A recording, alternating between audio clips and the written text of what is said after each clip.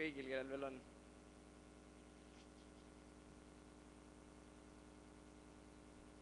oh tore. põhimõtteliselt mul jälle väga midagi rääkida.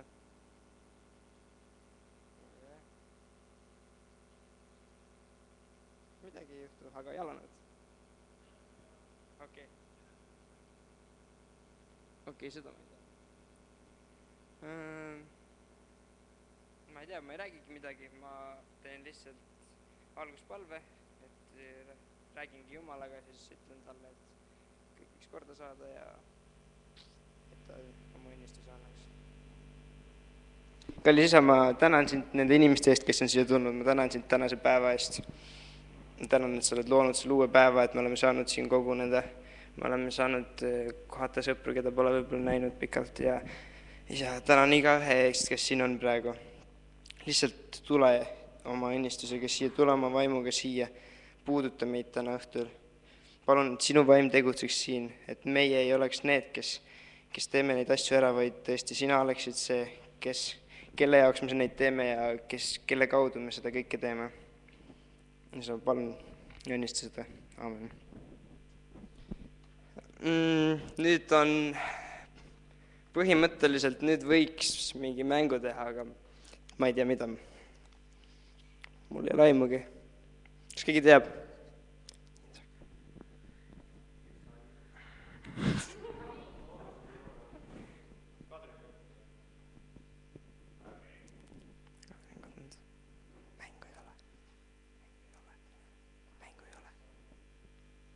Kadri on see, kes siin enne laulis. mõelge keegi mäng välja jaa, nagu selja peale joonistamise mäng, mida me oleme teinud, aga me ei joonista selgade peale, vaid me teeme pantomiimi. ja eks ma siis seletan, aga kui teemegi selle mängu, mitu võistkonda teeme? kolm, kaks. oota, ei. okei okay,, saabki naljaga, me kaks võistkonda. Äh, Tähvend alustab, hakake lugema kaheks. minge sealt üks.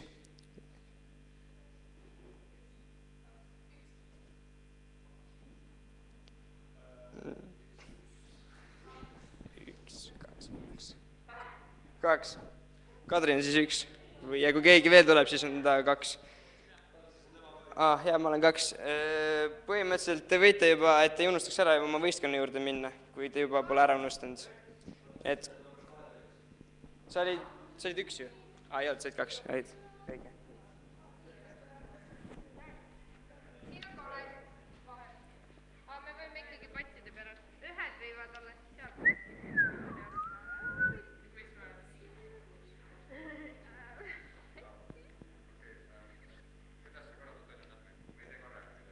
me ei tee korraga, üks võistkond peab maha istuma, teeme nii, et ühed alustavad ja kahed istuvad maha.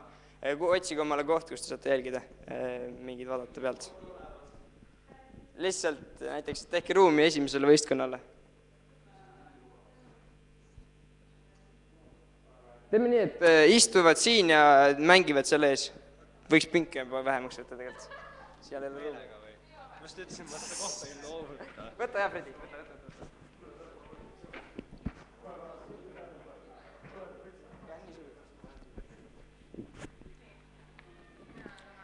Põhimõtteliselt te peate tegema hanerivi üksteise selja taha. on see hanerivi, on vist ikka? Äh, tšau. Äh, Regina on üks ja Kaur on kaks, teadmiseks. Regina jookseb ühtede juurde, nad hakkavad mängima varsti, ma seletan. said üks. Nonii, te peate hanerivi tegema üksteise selja taha, kes ei tea, kuhu minna, siis lihtsalt tehke üks hanerivi ja seiske üksteise selja taga taha, okei okay.. Kadri, sa oled üks. jah.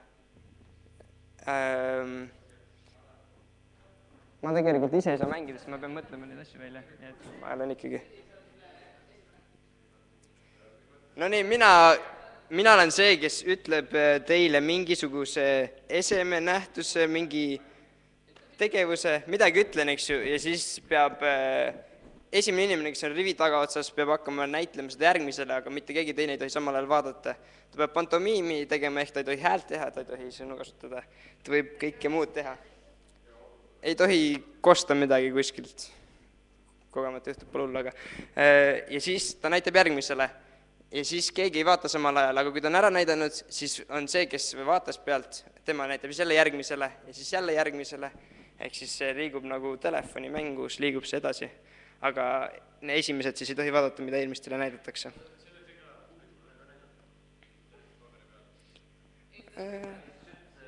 ma võin öelda, aga tavaliselt publik hakkab sosistama, sest see kuuldakse välja vahest. okei publik võib ka arvata, sest publikul on endal ka huvitavam. oota, mis asja, mis pidi? aga viimane on see, kes siis ei pea näitlema, sest tal ei ole kellelegi näidelda, siis ta peab lihtsalt välja ütlema. Ja kui te tahate, võite punkte ka arvestada, kes ära arvas, kes ära ei arvanud, aga pole oluline, ma pean mõtlema.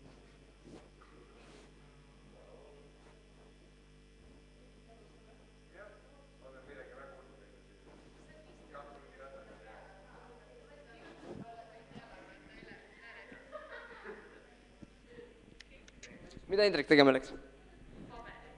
okei.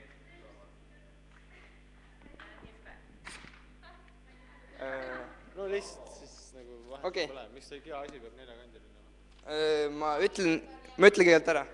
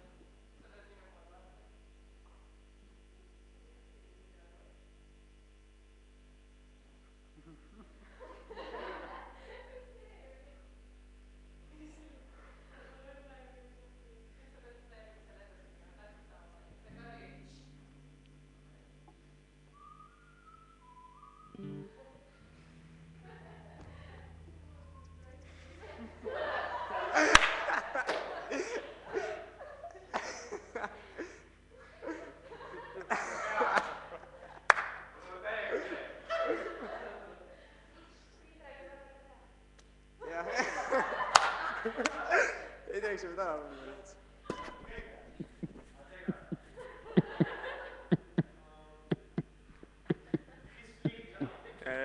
see on tegevus. see on nagu väljendaja nagu sõna. ta on nagu tegevus. tegevus, jah.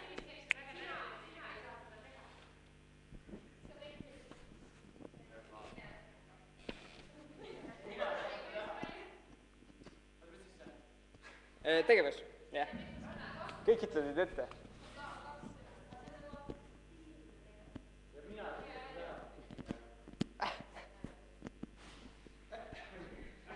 arva ära.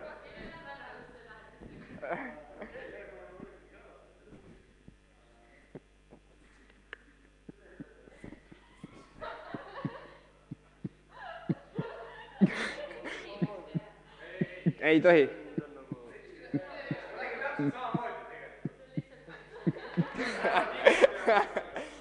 kui ta on ära arvanud, siis põhimõtteliselt võib Fredi teha, aga ta ei ole veel arvanud. kas me, kas meie võime ka arvata ma arvan, et see on mõttetu. siis lõpuks ta arvabki ära ja niikuinii.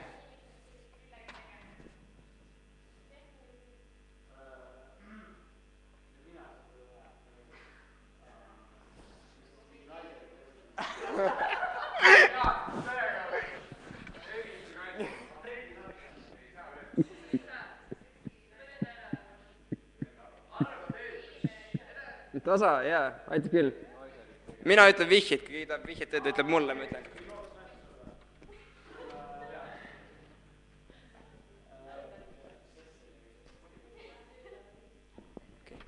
see toimub öö, ööpäevaringselt kogu aeg. sai aru, niikuinii ära. sa paku. jah, täpselt. mulle ka meeldis.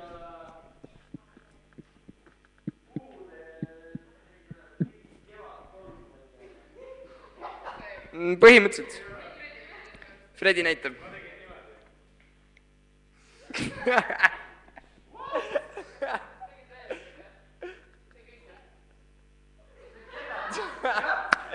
mis see lõpp oli, mis see lõpp oli?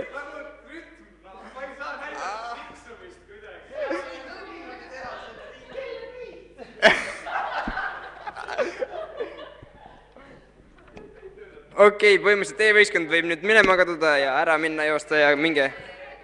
teine võistkond, ah? Neil ei ole punktigi, nad ei arvanud. nüüd eh, teine võistkond võib minna ja teha, jah. jah, Regina, mine ka, siis on võrdselt. jaa, sa pidid tulema tegelikult esimeses võistkonnas, aga kuna Kauri ei ole, siis mine teise. jep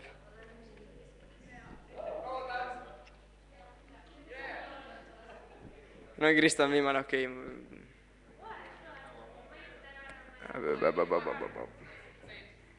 Ok.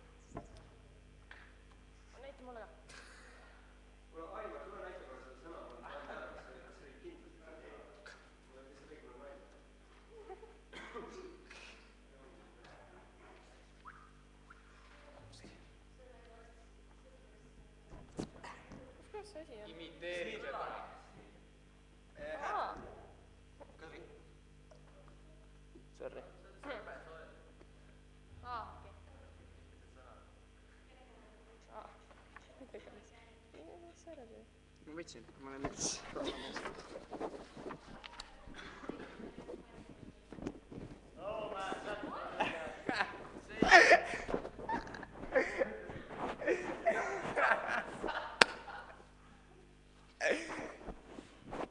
Läheb hästi.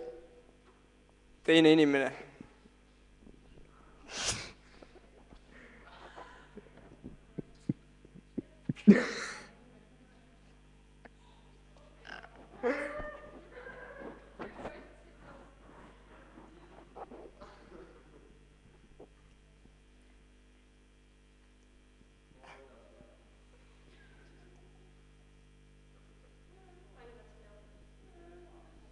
Ma mõtlesin mõlemad lambist midagi.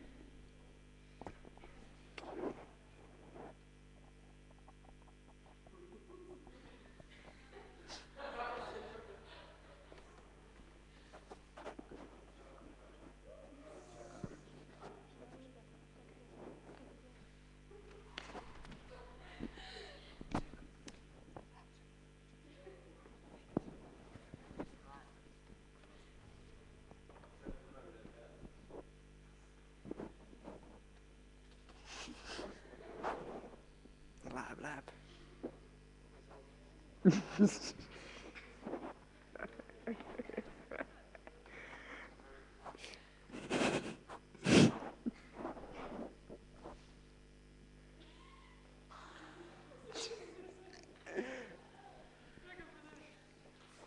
hästi, Reginad.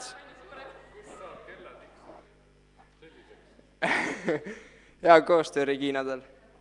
sealt läks päris hästi edasi. meil muidugi algust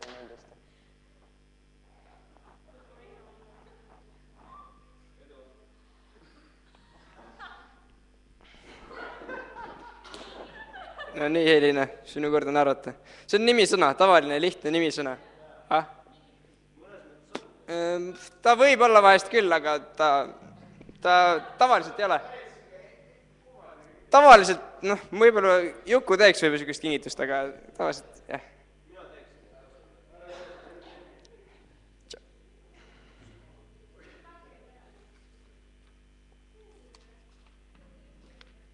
vaata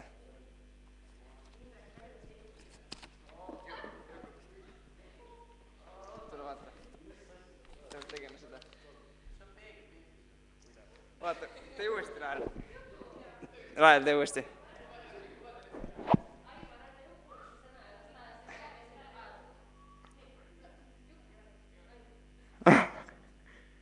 las ta seletab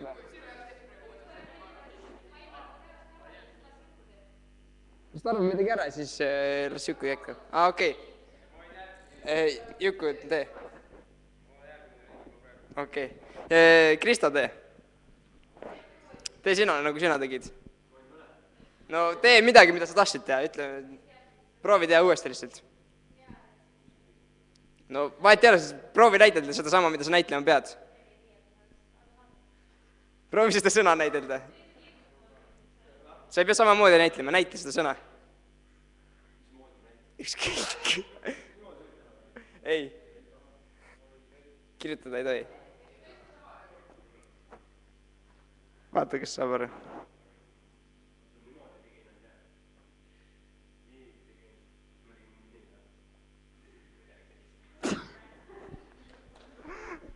mis asi? ei ole, ta juba sinnakanti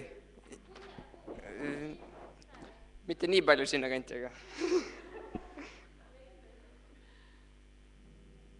okei, okei, see oli kartul. Väga hästi, see oli kartul. Läheb küll. kas esimene võistkond läheb uuesti või? kas tuleb uuesti või? teeb veel või? üks ring veel, no nii, esimene võistkond lavale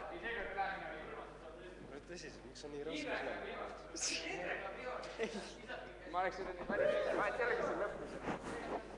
sa võid minna, siis, siis saad, siis saab kaua teisi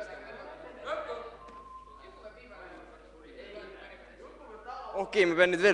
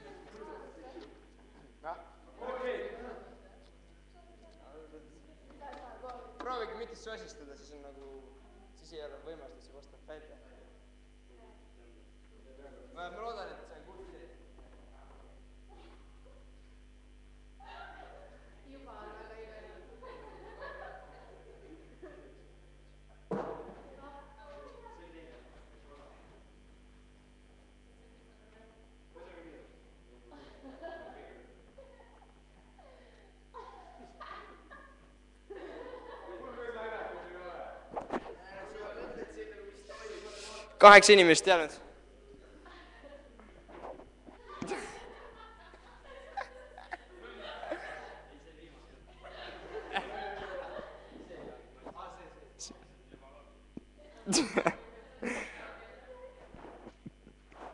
ja kolmas inimene.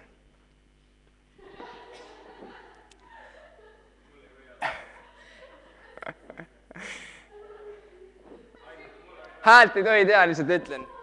Te juba kuulsite, mis hääl seljaga, te ei tohi teha ikkagi. häält ei tohi. no aga ikkagi, see on reegel. ära ütle, siis on huvitav. ja siis ei lähe kaduma ka kuskil nagu, ei kosta välja. okei okay,, ma pean järgmisega mõtlema. viis inimest lõpuni nagu koos sellega, kes seletab. et järgmisena seletatakse Kadile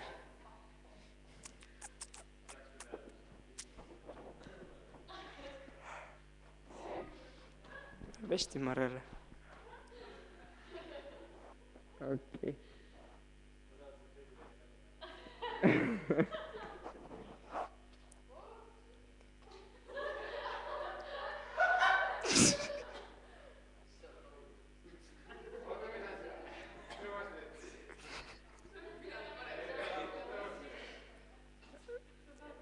okei okay..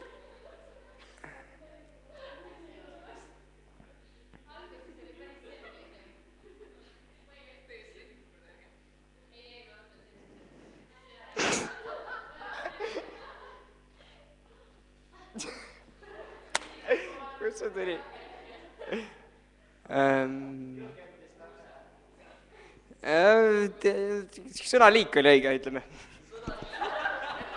nimisõna, jah. rohkem ühist ei näinud väga palju.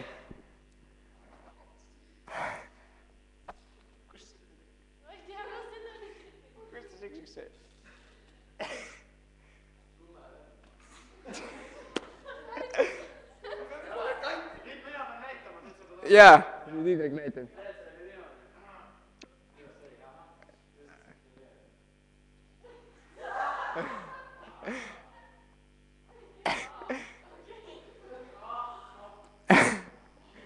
noh.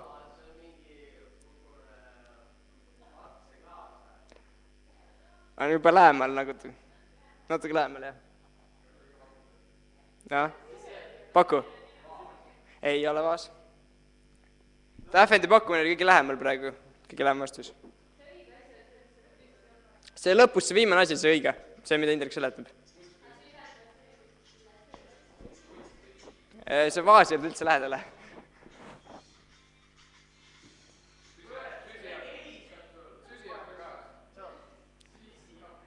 Tähvend, oskad midagi pakkuda?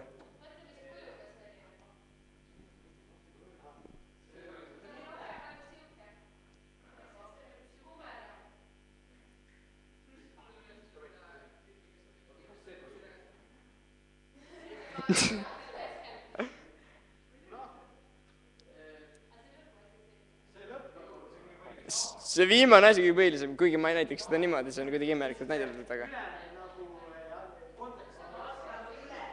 jaa, jaa. Indrek, miks sa niipidi teed üldse? nagu lihtsam oleks teistpidi aru saada, kui see oleks teistpidi kõik, pea peal nagu. kõvasti lihtsam oleks aru saada.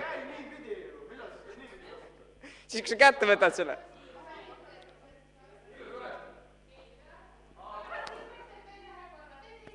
tee teistpidi.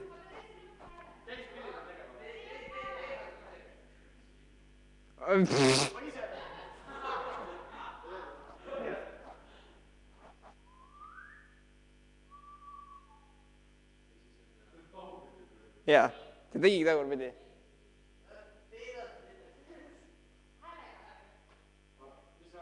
sa enne, enne tegid?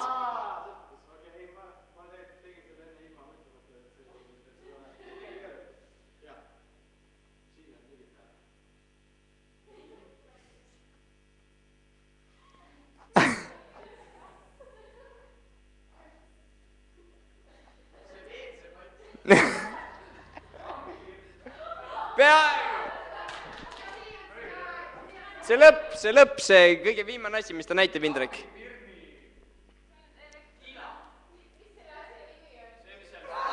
see, mis seal sees on?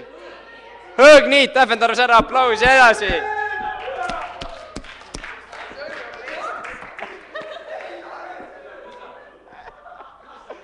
teine võistkond, on, te olete teine võistkond?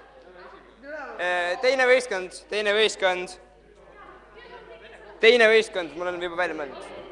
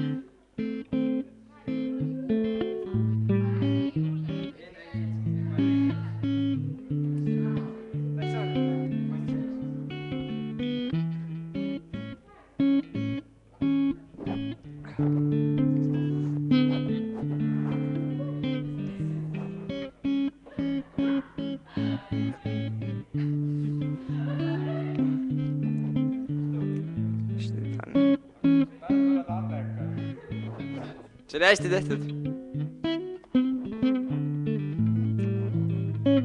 mine mängi, siis neid on vähem. jah, väga hea. aga lamb.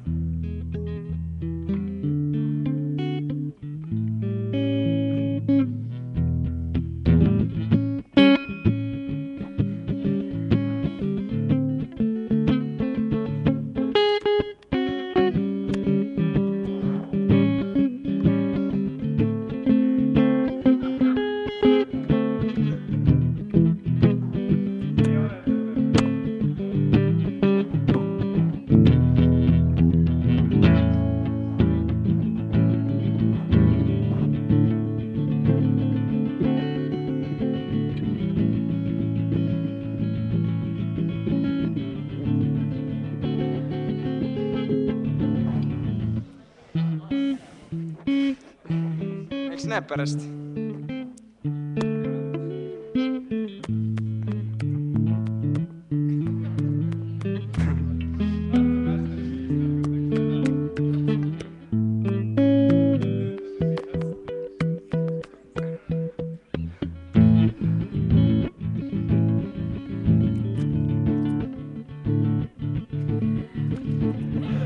väga hea, edasi, edasi. Kristo näitab Mirjamile nüüd.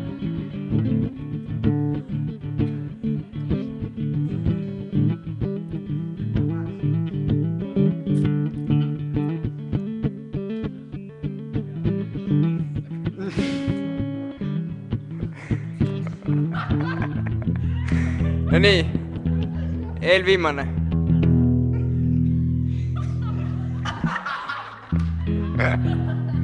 Läheb hästi. Rael, väga hea. see on eh, peaaegu ütleme noh, ei, mitte päris. jah.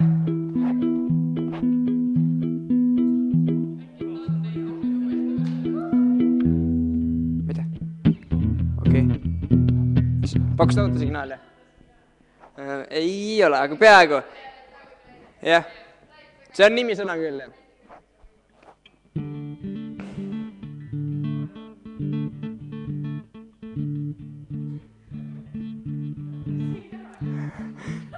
ei ole signaal. näita uuesti, näita korra uuesti. ah. okei okay,, siis ette öeldud. Jaa, see on liiklusmärk, jaa, väga hea.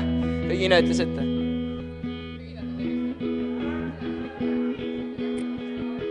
jah, algus esimesed kaks olid veel väga head või kolm või vähemalt seal kuskil keskel läks väga metsa, aga väga hästi.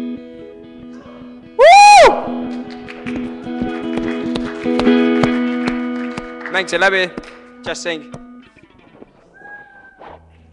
jah, mäng on läbi. jah, täpselt, kõrini inimestest juba mis teada teha? ja need, kes istuvad siia, peaksid jalanõud ära võtma lihtsalt. mis siis, et Reginal on jalanõud jalas, aga ta vist pani need teisele. Need on sisejalanud jah, et kui teil on teised jalanõud kaasas, siis te põhimõtteliselt võite need jalga panna. tähelepanu tegemist on ravimiga enne tarvitamist, pidage nõu arsti või apteekriga.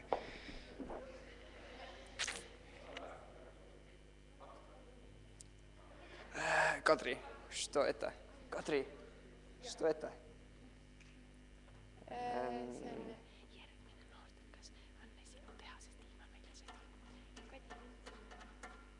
said aru või? jaa, ma sain aru, väga hea, no nii, põhimõtteliselt äh, Indrek, kus sa oled, äh, teadmiseks teile, sellel aastal on sihuke, olge kõik vait, Saaremaa tinistab ka, eks ju. kus on need flaierid, Indrek? kus on flaierid, jah. okei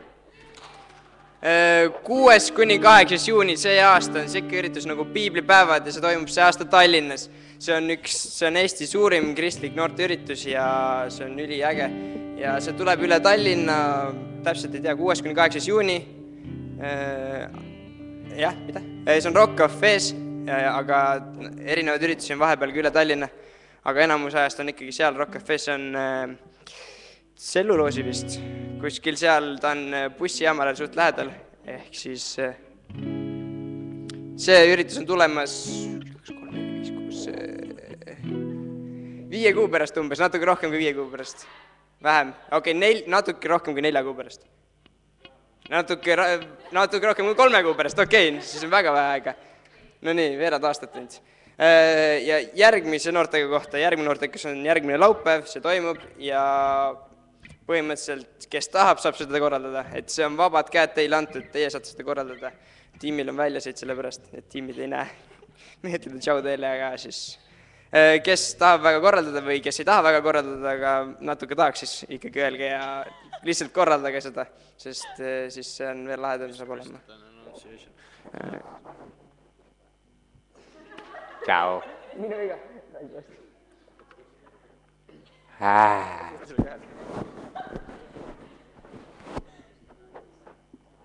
jah, kes tahaksid järgmine kord teha, tõstke kohe kätt üles. Nonii, okei okay., ise teha ja nagu, jah, täpselt, tubli Otto, väga hea algus, väga hea. Nonii, Otto ja kes veel, keegi Ottole appi ei tulegi? jätategi Otto üksinda või? Päriselt ka, tähep vend. Nonii. tuleb hea pidu. tuleb, tuleb. edasi veel inimesi jaa, väga hea, kolm inimest juba olemas ja kes tahab veel teha, siis öelge lihtsalt ja öelge kas või neile või ükskõik kellele, öelge lihtsalt, et te tahate teha, siis see, kes, see, kes teada saab, see ütleb edasi kas või. ah? no nii, ja nüüd Indrek teatab ka mingi teate ja sest rohkem jaa, sa võid istuda. Indrek tahtis. palun, sa võid. igal juhul äh, esimene, mul on kaks teadet, esimene on see, et ma läksin Frediga tülli. kaks nädalat. mul on kaks nädalat, läks see Frediga tülli. ei lepi midagi, õhtu ei ole käes veel, päike pole loojunud, on küll uh,. igal juhul okei okay,, et äh, teade on selline, et äh,. aa ah, jah, just äh,. teisipäeval, Maarjus ei ole küll siin, Maarjus natuke nagu on selle asja nagu tagamootoriks ka, aga teisipäeval on teadupärast vastlapäev. jess, vah, see tuleb siis sõnast fasten, igal juhul ähm, seoses vastlapäevaga on äh, selline asi nagu supp ja kuklid äh, ja on äh, meie kogudus. tegelikult on niimoodi, et äh, teisipäeva õhtul kell seitse toimub siin spetsiaalkoguduse vastlapäeva õhtu ja väga lahe oleks, kui noored osaleksid, kui te vähegi saate ja sellega on niimoodi, et mis sellega on ah.? aa, jaa, üks äh, mäng võiks olla noorte poolt. ma ise olen teisipäevast alates Tšehhis neli päeva, mind ei ole siin kahjuks, aga igal juhul äh, et äh, nii ongi, et äh, võiksite, ühesõnaga tegelikult oli see, et Maarjus juba helistas mulle just enne ja tahtiski teada, kui paljud teist juba teavad, et te tahaksite tulla teisipäeval siia vastlapäeva õhtule siia koguduse majja, siis et siin on nii noored kui äh, keskealised kui vanemad kui lapsed, ühesõnaga terve äh, nagu perekondlik nagu tšiu, pilt nagu on siin. Davai, kes äh, nagu teaksid, et te kindlalt tuleksite? appikene, kõik Youtube'i on uuesti rääkinud, Jete, ah, tõstke käed nüüd, kes tulevad, nii, tahaks. kell seitse. kella seitsmest paar tundi. üks, kaks, kolm, koli või? noh, kolm või? mingi, mingi, neli, viis, väga lahe. kuus, tubli äh,, seitse, kihvt, väga hea. asi on selles, et on vaja lihtsalt arvestada, kui palju suppi teha, saate aru või? selles mõttes, et jätkuks, hernesupp väga hea.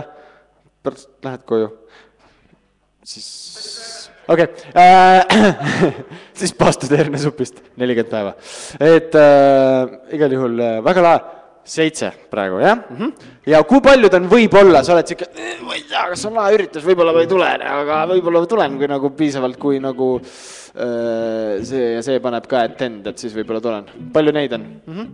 tõstke käsi. Otto, Otto, sa pidid kindlalt tulema, Aimar, sa pidid kindlalt tulema. ahah, seal on kaks Rahel ka niimoodi natuke kuidagi lahe. umbes, umbes kümmet ootame siis, väga lahe, kõik, rohkem ei räägi, aeg läheb. Tere ka meie poolt ja ma kohe räägin. Indrek, mine palun istu. aitäh. nii, ühesõnaga meil on äh, täiega hea meel siin ees täna olla ja Jette tuli ka täpselt õigeks ajaks, sest Jette laulab täna. mida? miks? ta ei ütle midagi praegu, aga ma tean, et ta on tegelikult täiega õnnelik, et ta siin ees on laulmas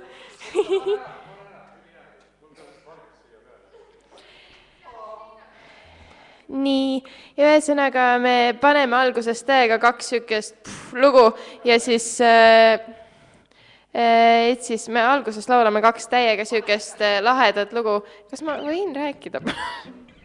kaks lahedat lugu, nii, mis edasi saab? ja siis me laulame neid lugusid.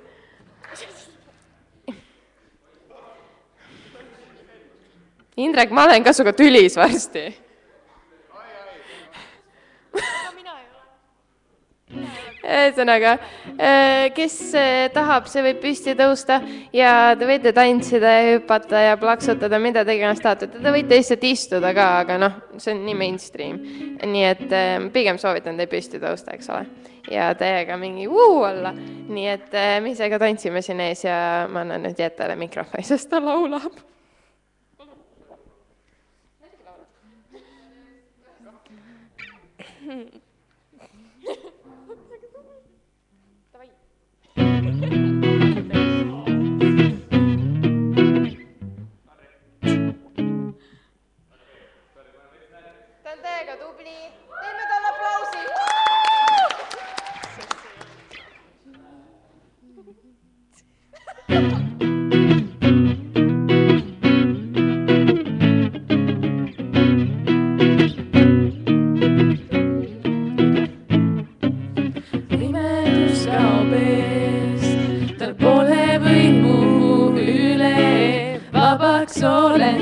saanud,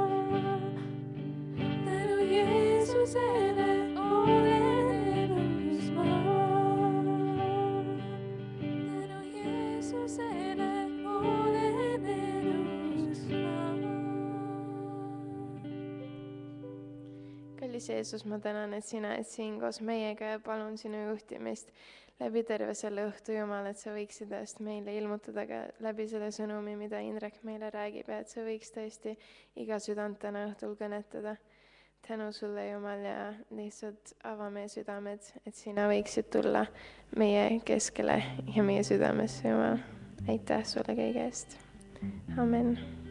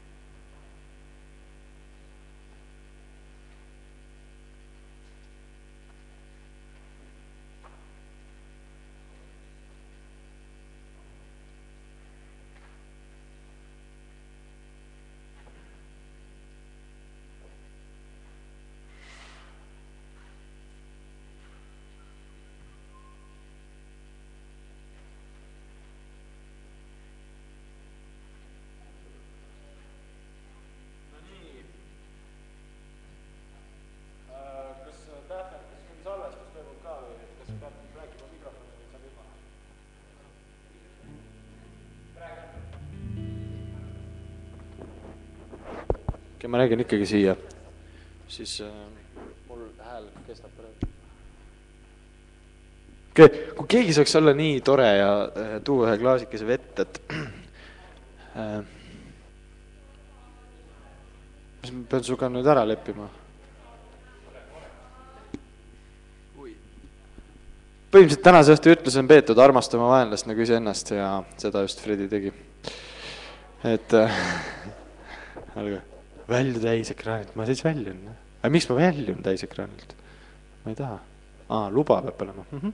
just, väga kihvt. kuulge äh,, põhimõtteliselt esimene asi on see, et tulge istuge lihtsalt ettepoole, siin on veel Vaabu Patju äh, äh, ja mõned julgemad, Merike ja Koit ja kes sul on, väga lahe, tulge ettepoole. Kaspar, Kaspar, sa ei tule ettepoole? Kaspar, okei okay., Otto tuli, lahe, aitäh sulle.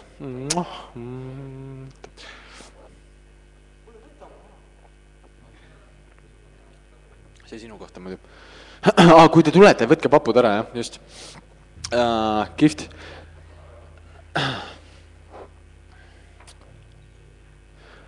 enne kui uh, ma räägin, siis ma palvetan korraks selle pärast ja uh, palvetage koos minuga uh,. lihtsalt, et see oleks rohkem see, mida Jumal räägib. Jumal, aitäh sulle selle võimaluse eest, lihtsalt uh, tõesti, ma ei oleks kunagi arvanud mingi kui ma olin, ma ei tea, viisteist või midagi. et äh, kunagi ma olen sellise koha peal oma elus ja, aga ma tunnen suurt eesõigust ja palun lihtsalt täna ka, et sa kasutaksid lihtsalt minu äh, äh, häält ja, ja seda, et ma siin olen, et anda tõesti edasi seda, mida sina tahad öelda ja võib-olla minu, minu kogemusi või tunnistust, aga jumal, et tõesti sina oleksid selle keskel ja ja sinu rõõmusõnum igaühe jaoks võiks äh, olla see, mis tõuseb esile, et igaüks tõesti saab siit täna midagi, mida me kõik sügaval südames äh, vajame, hoolimata sellest, mis maskid meil ees on. kas me üritame varjata mingisuguseid haavu enda elus või mitte, pettumusi ja asju, kas me valetame iseendale enda kohta või mitte, võib-olla oleme just väga rõõmsad, ikkagi Jumal, ma palun, et täna sina saaksid igaühe jaoks rääkida Jeesuse nimel, amen. okei okay. äh,, siis äh, tänase õhtu pealkiri oli siis sinu kord, aga lihtsalt kuna Facebookist leiab, Facebookist, internetist leiab äh, lahedamaid pilte, kui panna need eestikeelsed asjad inglise keelde, siis äh, your turn, et äh, see oli ka nagu see, mis seal event'i pildiks oli, aga igal juhul, mis mõttes siis on sinu kord? küsimus, et äh, mis mõttes on sinu kord ja kas äh, äh, kas siis enne ei olnud ja mis pärast on siis, kui praegu on minu kord, mis pärast saab? sellest kõigest natuke lähemalt okei okay. äh,, rahvas äh,, kui sul on piibel kaasas, siis võta see lahti, kui sul ei ole piibel kaasas, siis küsi endalt, kas sellepärast, et sul ei ole piiblit või sellepärast, et sul on piibel, aga sa ei võtnud kaasa äh,. kui sul ei ole piiblit, siis räägi minuga või kellegiga tiimist ja me hangime sulle piibli. see on äh, maailma kõige levinum raamat, kõige populaarsem, kõige sisukam äh, ja ainus raamat, mida lugedes autor seisab su kõrval ja räägib, mis ta siin mõtles. ja kui sul ei olnud kaasas piibel, siis võta järgmine kord kaasa. Said aru, jah? okei okay., igal juhul Johannese kümnendas peatükis Jeesus ütleb, mina olen tulnud, et neil oleks elu ja oleks seda ülirohkesti. kes on need need, keda ta ütleb, mina olen tulnud, et neil oleks elu ja oleks seda ülirohkesti, kes teab? jah okei okay., juba hakkab lisanduma, kas, Kaspar siin täiega. ühesõnaga, et meil inimestel oleks elu ja oleks seda ülirohkesti. Jeesus ütles, et ta tuli sellepärast, ma ei, mida tänapäeval koolis õpetatakse, ma ei tea, minu ajal juba öelda, et nojah, Jeesus oli ikka olemas küll, noh ajalooliselt nagu eksisteeris. igal juhul, nii et ta tuli, ta oli olemas, elas äh, ja ta ütles sellised sõnad, mina olen tulnud, et inimestel oleks elu ja oleks seda ülirohkesti. Ja täpsemalt ta mõtleb isegi siin neid, kes äh, usuvad sellesse, kes Jeesus oli ja mis oli tema eesmärk. okei okay,, see on üks naljakas sõna, kui sageli sa ütled äh, äh,, et äh, kui keegi küsib sult pärast seda noortekat, et kas see oli lahe noortekas, siis sa vastad ülirohkesti ilmselt mitte, nii et äh, põhim-, põhimõtteliselt selle võiks ära tõlkida ülirohkesti täiega. mina olen tulnud, et nendel noortel, kes siin täna õhtul istuvad, neil oleks elu ja ka nende sõpradel ja tuttavatel äh, inimestel nende ümber, keda nad teavad, kellel on elus raske, et neil oleks ikkagi elu ja oleks seda täiega, okei okay,, sobib. Äh,. kui nüüd sa mõtled, et sul on täiega elu, siis äh, mi-, millest see elu koosneks, mis seal nagu olemas oleks, nimetage paar asja lihtsalt hüüdke välja kuskilt, kus te istute, öelge, mis on nagu täiega elu, mis seal nagu, mis on täiega hea, kui see on elus olemas. millest koosneb hea elu? kas söök, okei okay.. Nonii, me saame toidetud, see on hea. mis veel? armastus. Otto mm. -hmm. pitsa mis veel? jaa, ma arvan, et Jeesus tuli, et meil oleks pitsat täiega, jah mm. -hmm. mis veel? jah. okei kui sa mõtled nagu, kui sinu elu nagu täiega õnnestub, mida sa näed, mis seal oleks olemas veel või mis on nagu asjad, mis iseloomustaksid seda?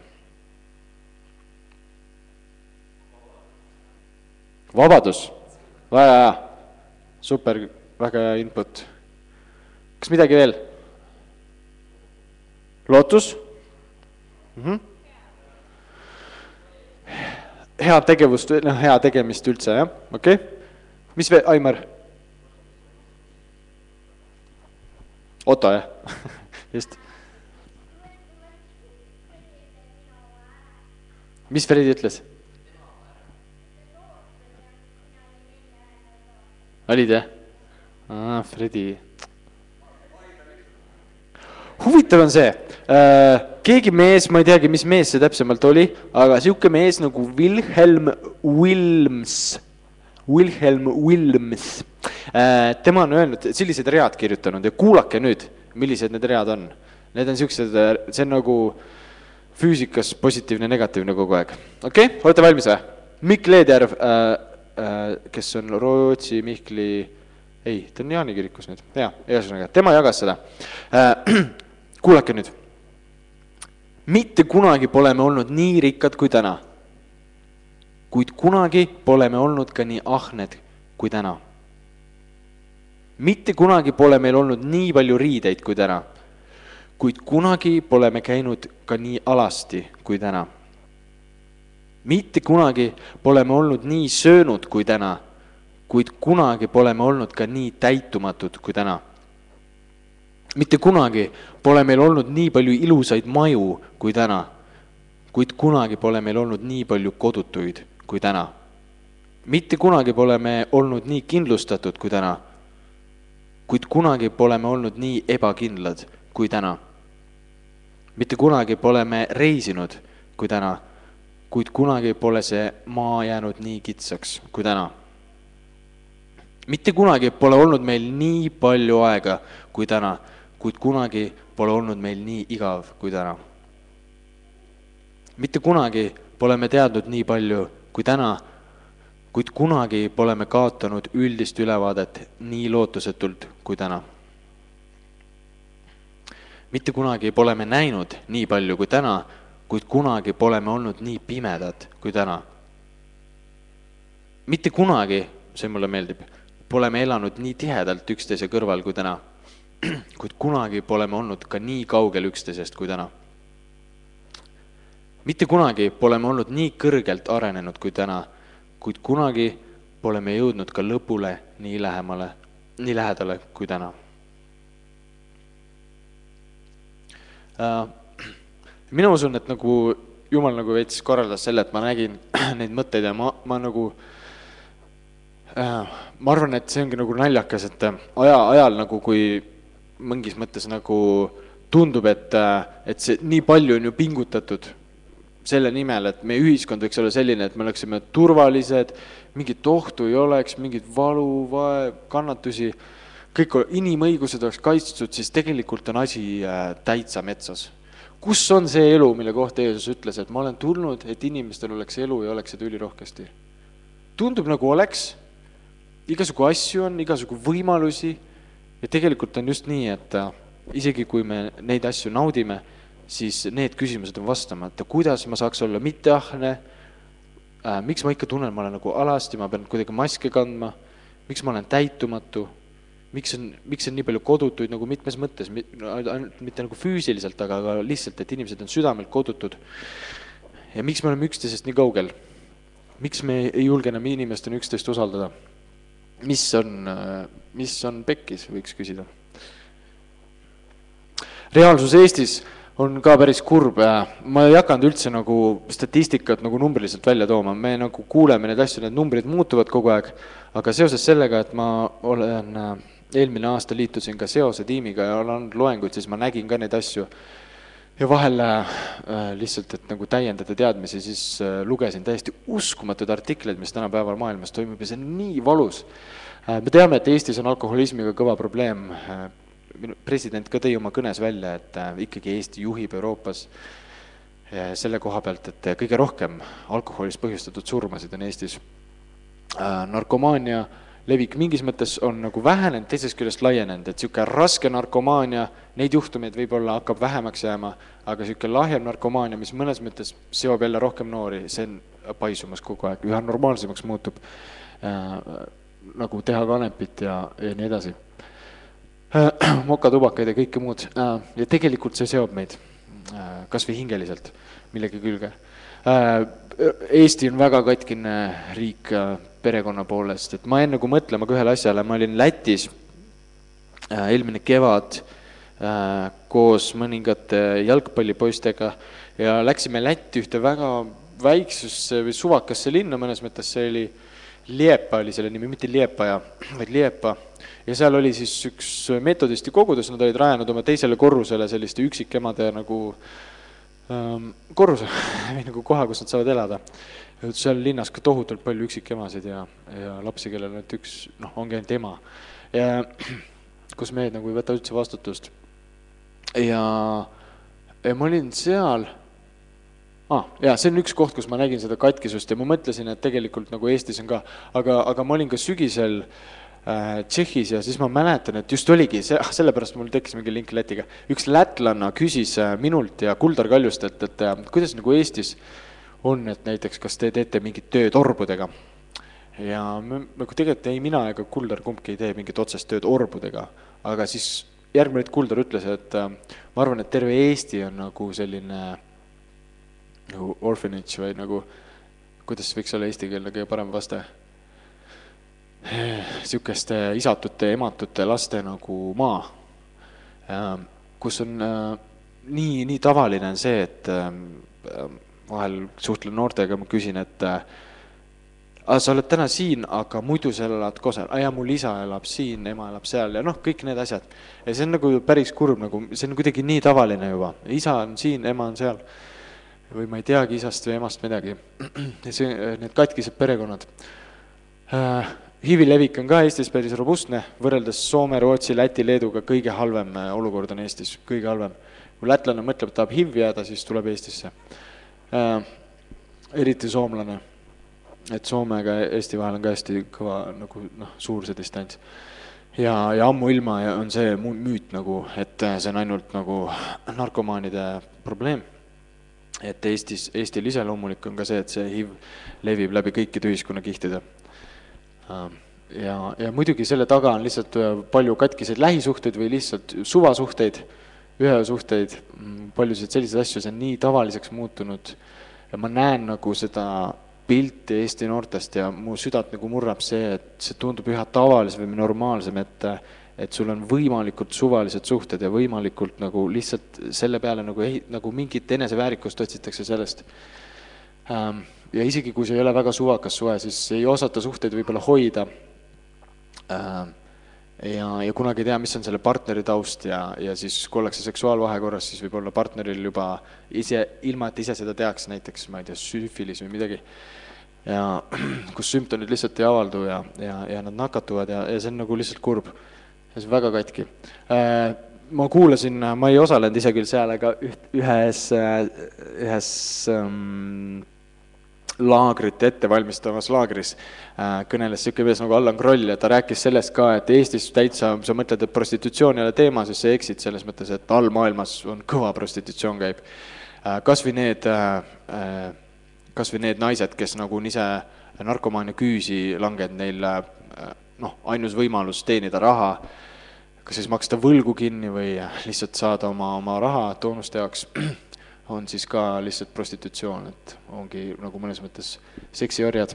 ja see on väga, väga hull nagu, see toimub siinsamas, siinsamas Tallinnas, et eh, siin ei ole, tuleb lihtsalt jah, otsida ja juba sa puutud kokku nende lugudega. Äh, Eestis on palju kodust vägivalda, selle kohta on äh, palju artikleid, asju, minu end-, enda endine kursavend ja noortekirjanik Sass Henno on kirjutanud sellest ühe pikema artikli ja ja ka päris ehmatavad olid need protsendid, et kui palju naisi elab selle hirmu all äh,. nii et äh, jah, nii ongi. ja, ja seksuaalne kuritarvitamine, ma isegi ei mäleta, kui ma selle siia kirja panin, mis ma täpsemalt mõtlesin, aga ma olen nagu mõelnud, et mõnes mõttes ka paljud need äh, mitte küll nagu sunnitud äh, äh seksuaalvahekorrad on mõnes mõttes kuritarvitamine, et äh, et, et seal on nagu lugusid, kus äh, pannakse tablett seal tüdruku joogi sisse ja, ja noh, need on, see on täielik kuritarvitamine, see on ja see, see nagu sellise nagu vaimsuse peale surumine, et äh, nagu et kui sa tahad nagu olla hinnatud, siis äh, siis tule minuga kaasa, on ju. et see on mõnes mõttes kuritarvitamine, ma arvan. maailmas on ka äh, asju, mis ei räägi nagu just äh, mingist täiega heast elust või ülirohkest elust, millest Jeesus rääkis äh,. Äh, üks selline mees nagu Gary Hogan on juba aastaid tegelenud sellise kuidas see organisatsiooni nimi oli, nagu mingi rahvusvaheline õiglus äh, nagu missionorganisatsioon, ehk siis nagu nende eesmärk ongi kehtestada õiglust seal, kus see puudub, paljudes riikides ei ole mingisuguseid õiguseid või on täiesti suva see. Äh,, aga näiteks äh, isegi võttes arvesse lääneriike, siis äh, üks kolmandik naistest on elu jooksul kas vägistatud, kannatanud peksmise või muul viisil kuritarvitatud, üks kolmandik.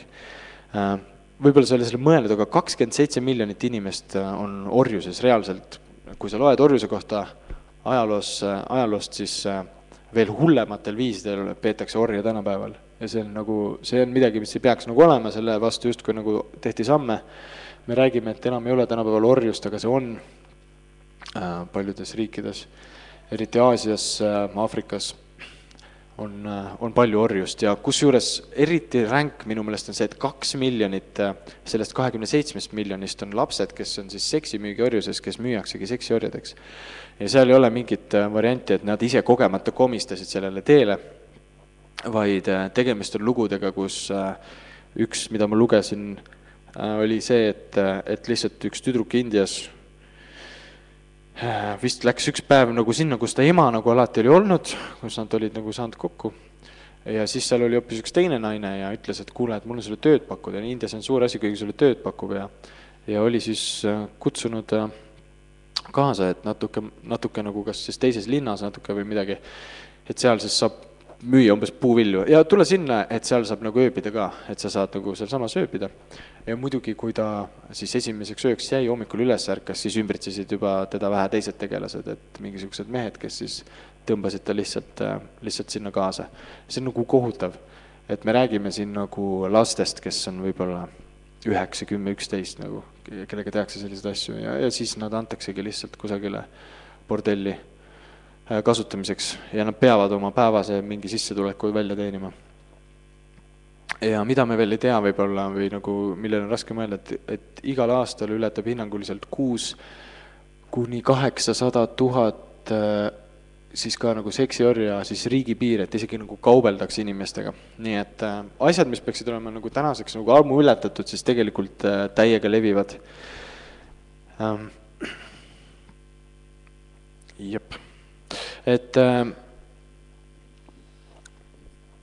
minul oli väga lahe vanaema, Helene oli nimi äh,.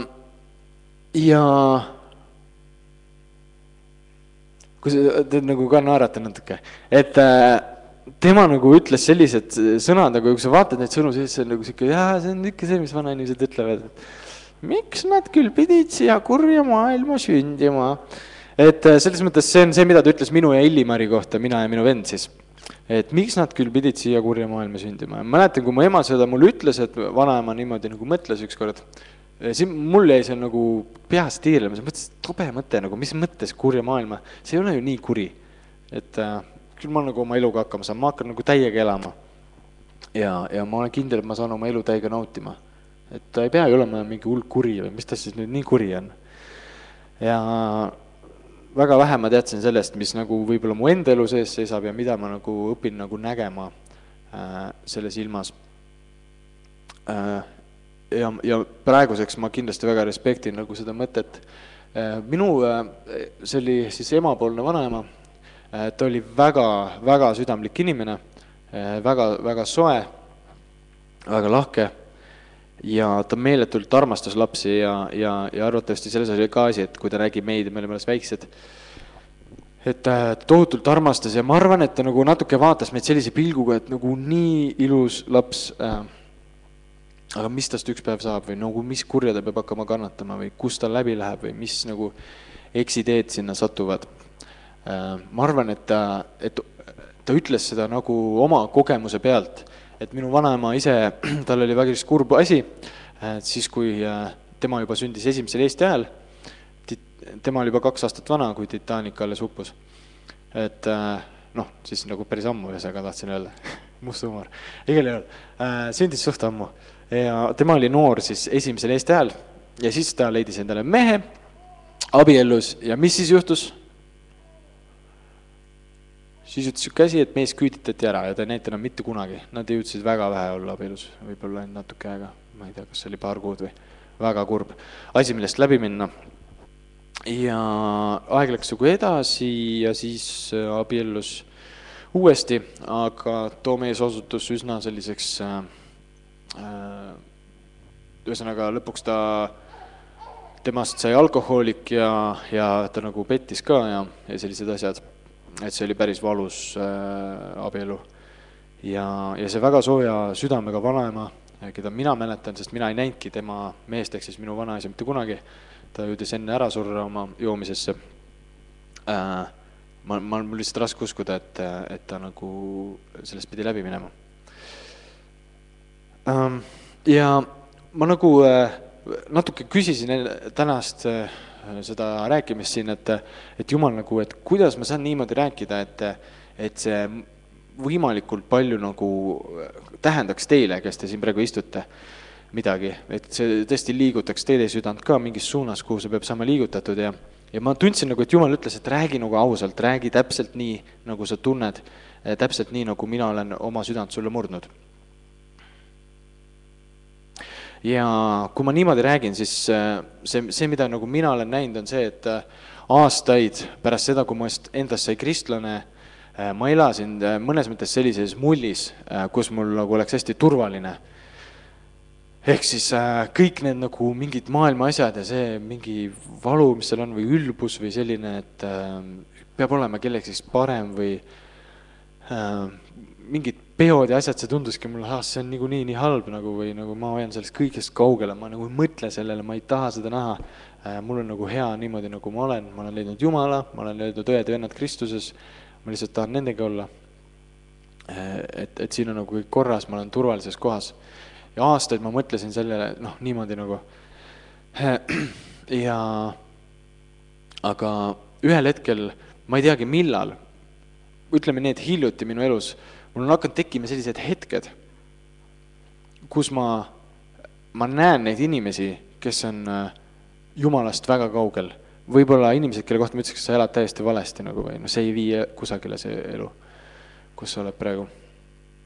ja ma näen neid ja ühel hetkel mulle nagu viirastub selles inimeses see väike äh, beebi nagu Kaspar. et äh, Te võite täiesti nagu vaadata praegu Kasparit ja mõelda. kui te mõtlete võib-olla mõningatele kõige hullematele inimestele, keda te olete näinud või nagu võib-olla sa oled teatud situatsioonis näinud mingit väga ülbet tüüpi kuskil või väga sihuke, käib tänaval kuskil ringi, vahel on siuksed, kuskilt tuleb mingi vend, mingi teo. noh, mingi vend, sihuke, sihuke tunne, et järgmisel hetkel äh, võtab takso ja siis, kui sõit lõpeb, siis ta taob taksojuhi ära ja siis läheb äh,, lähebki kuskile Punasele tänavale. et no täpselt sihuke nagu, sa mõtled, mis mõttes nagu sihuke tüüp, aga ta on olnud kunagi selline äh,. ja, ja mul on hakanud tekkima need hetked, kus ma nagu näen, et see ei ole alati nii olnud, see ei pea nii olema. see ei pea niimoodi olema äh,. ma olen seoses äh, juba noortetööga, mida ma olen teinud äh, äh pikalt, nagu varsti kümme aastat äh,, ma olen kuulnud väga palju erinevaid lugusid. ja, ja alati need lood ei ole nagu umbisikulised, selles mõttes, et alati see, need lood ei ole sellised, et keegi tegi midagi, seal oli mingi lahkuminek ja e, siis e, too magas sellega ja, ja siis juhtus see ja too ja siis et, et mingi nõme värk või vahel ma nagu, ma olen nagu ka teadnud nagu, et kes on need inimesed.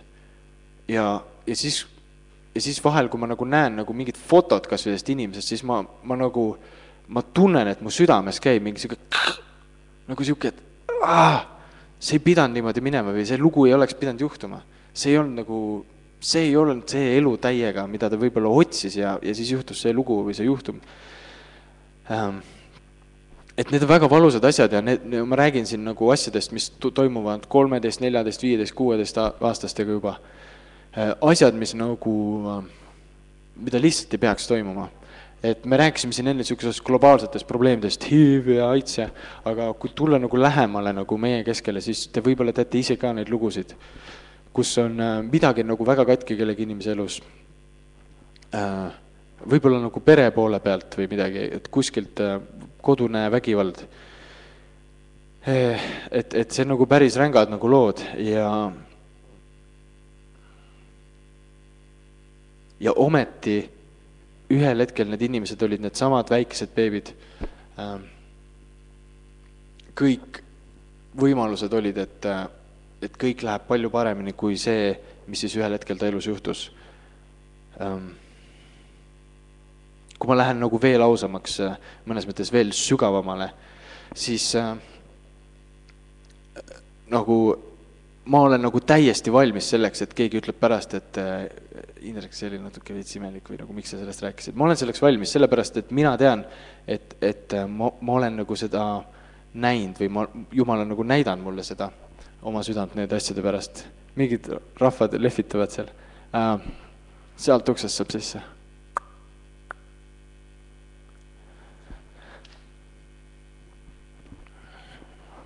kui nad tulevad sisse, siis võime aplausi teha teiega tahame, et kõik oleksid väga tervitatud siia.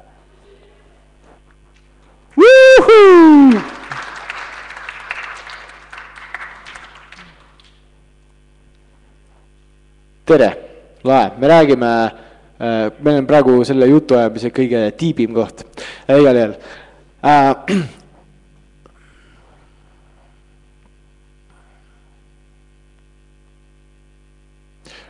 äh suur osa, kes te siin täna olete, te olete äh, tüdrukud. ja jah, nii ongi äh,.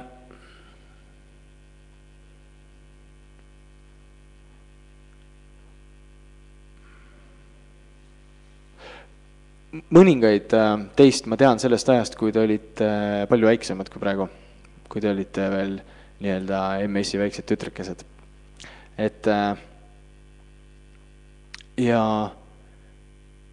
mis mind sellel ajal tabas või nagu millest, mida ma mõistsin, oli see, et Jumal ütles, et Indrek, kas sa näed neid? kas sa näed, kui väga ma neid armastan või kui nagu ilusad nad on, kui äh,, kui väärtuslikud nad on? et, et need, need on nagu need tüdrukud, kes kasvavad naised, kellel võivad olla tõesti need ilusad unistused ja need võivad täituda. et seal ei pea olema teatud asju nagu, need ei pea juhtuma nende eludes, sa tead, mis maailmas toimub. sa tead nagu, millised, millised on väga paljud suhted ja asjad äh,. ja, ja see nagu oligi, et äh,, et see, mida ma mõtlen, mu, ma nagu, nagu ma tundsin, et Jumal ütleb, ma, ma nagu tahan, et need äh, ka minu tütred, keda ma olen loonud ja planeerinud, nad ei pea kannatama kunagi nende äh, raskete valede suhete all, nad ei pea olema ühel päeval need üksikemad, nad ei pea kannatama kodust vägivalda. Nad ei pea olema need, kes ühel päeval ütlevad äh, oma mehele, kes neid peksab, et ma armastan teda ja sellepärast ma ei, äh, ma ei muuda midagi selle olukorra suhtes, nad ei pea olema need. ja kas sa tead, et nad ei ole ainult siin kirikus, vaid neid on väga palju rohkem nagu seal väljaspool. et et kus on nagu need mehed, kes äh, äh, kus on need isad, kes kasvatavad need tütred niimoodi üles, et nad oleksid väga väärtuslikud. ja kus on need mehed, kes ühel päeval väärivad äh, nende noorte neidude armastust, kus nad on? ehk siis see jutt jõuab ka meieni, tüübid, välja ja ma arvan, et äh, miks seda oli praegu ka oluline öelda, oli see, et see on midagi, mida me saame väga isiklikult igaüks kaasa võtta. kui sa oled siin äh, noor neiu, siis sa saad täna, sul on võimalus võtta vastu see teadmine, et sa oled väga väärtuslik. et äh, kui ka mitte keegi sul ei ole sinu elus seda sisendanud, siis Jumal tahab seda sulle täna öelda, et ma armastan sind, mina lõin sind, mul on väga head eesmärgid. sa pead ennast hoidma ja kui sa oled tüüp siin, siis samamoodi. Äh, see nagu karm laks nagu vaimulikus mõttes on see, et sa ei saa äh, mängida lolli nagu nende, nende tüdrukutega. et, et kui sa ka oled midagi teinud ja mina olen oma elus teinud, siis äh,, äh, siis muuda asja nagu, muuda oma mõtlemist, muuda oma südant. sa, ma annan, ma annan selle andeks, mis seni on olnud, aga siit edasi see ei saa enam niimoodi minna. see on see isiklik koht, kus on sinu kord tuua muutust. Äh, ja nii ongi. et äh, ja, ja ma arvan, et äh, tüübid nagu, sellega on ka niimoodi, et kui sa nagu tunned, et et, et sa tead, et sa oled ise ka seest katki, siis ma, ma tegelikult arvan, et paljud poisid ka, kes kuritarvitavad tüdrukuid või midagi, nad on tegelikult seest katki. Aga see ei õigusta ikkagi neid tegusid, lihtsalt järgmised teod peaksid olema see, et otsida, et kes saab parandada seda, mis mu sees katki on. ja see ei ole mingisugune mingisugused ebaterved suhted või midagi, et see, see on, sa oled täna sellepärast siia sattunud, et sa saaksid teada, et Jumal on see, kes teeb su terveks, kes õpetab sind olema tõeline mees. nii et see on üks asi, mida ma väga tahaks, et te võtaksite täna siit kaasa, et saate olla tõeliselt nagu Jumala südame järgi neiud ja süda, Jumala südame järgi noormehed. täiega, amen. nii, läheb edasi uh,. nii et mõnes mõttes see vastus minu vanaemale oleks see, et äh, teie pidite sündima siia kurja maailma, et olla need erinevad neiud ja noormehed, on ju, just. Äh, kas te teadsite, Johannese kümme, kümme ei ole ainult öeldud, et äh, mina olen tulnud, et inimestel oleks elu ja oleks seda täiega, vaid sealsamas enne seda on öeldud, varas ei tule muu pärast kui varastama ja tapma ja hukkama.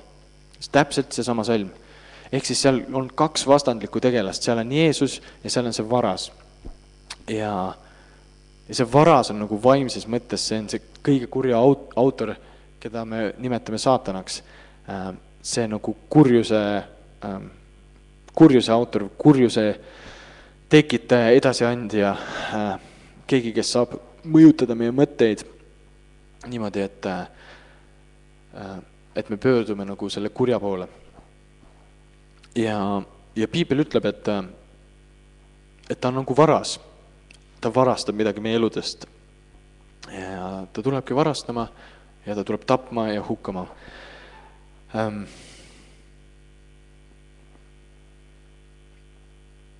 ma arvan, et äh, oluline ongi nagu mõista, et siin ei mõelda nagu füüsilist vargust või tapmist ja hukkamist, vaid just need asjad äh,, kõik, mis sinu elus on Äh, ees seismas, mis on sinu elus olnud, see kõik on selle ohu all, et seda tahetakse ära varastada, et sinust tahetakse tappa seda midagi ilusat, mida sa oled lootnud.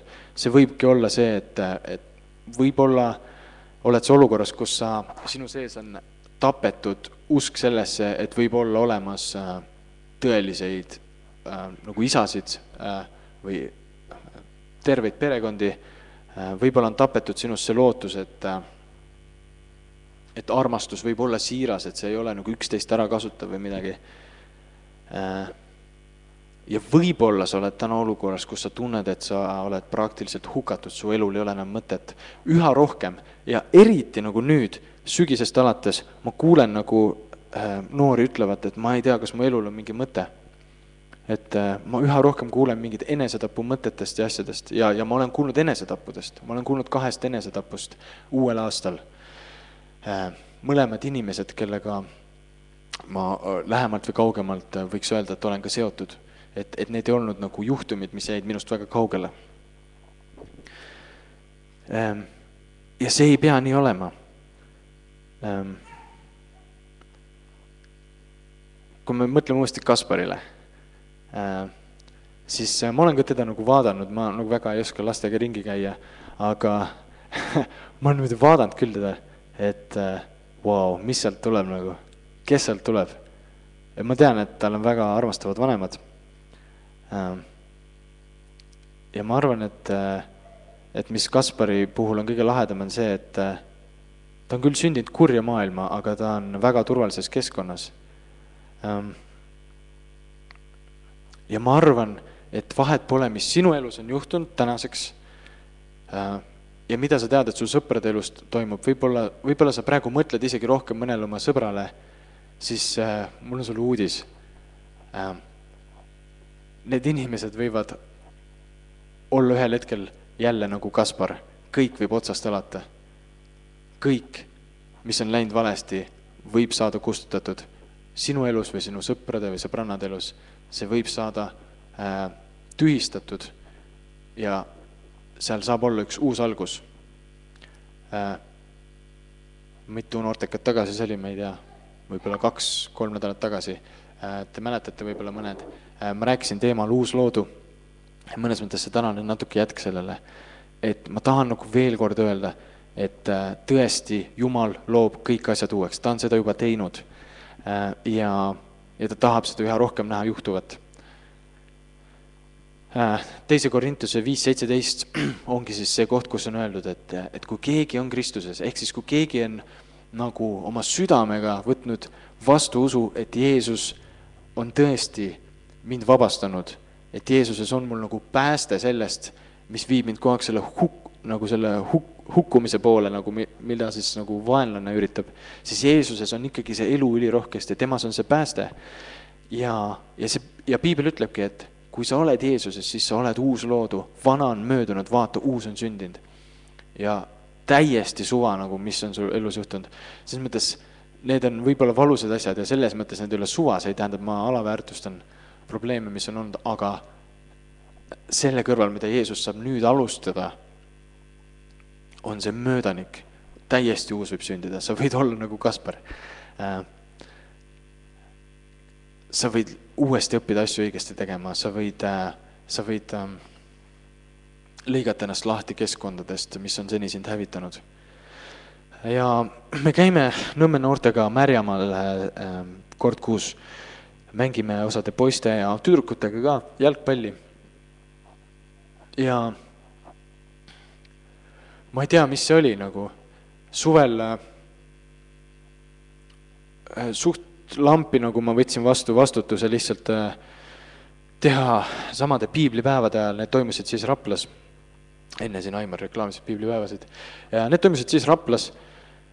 Ma võtsin vastu vastutuse teha mingi jalgpallimäng Märjamaal, et üks päev piiblipäevade rahvas, mingi mitu sotti noort, aeti bussidesse, erinevatesse kohtadesse, Järva kanti, Kehrasse, äh, Märjamaale, Kehtnasse, Kehtnasse, mitte Kehrasse, jah ja aeti bussidesse ja siis korraldati seal midagi kohalikele asula noortele ja siis minul oli ülesandeks jalgpalli mängida.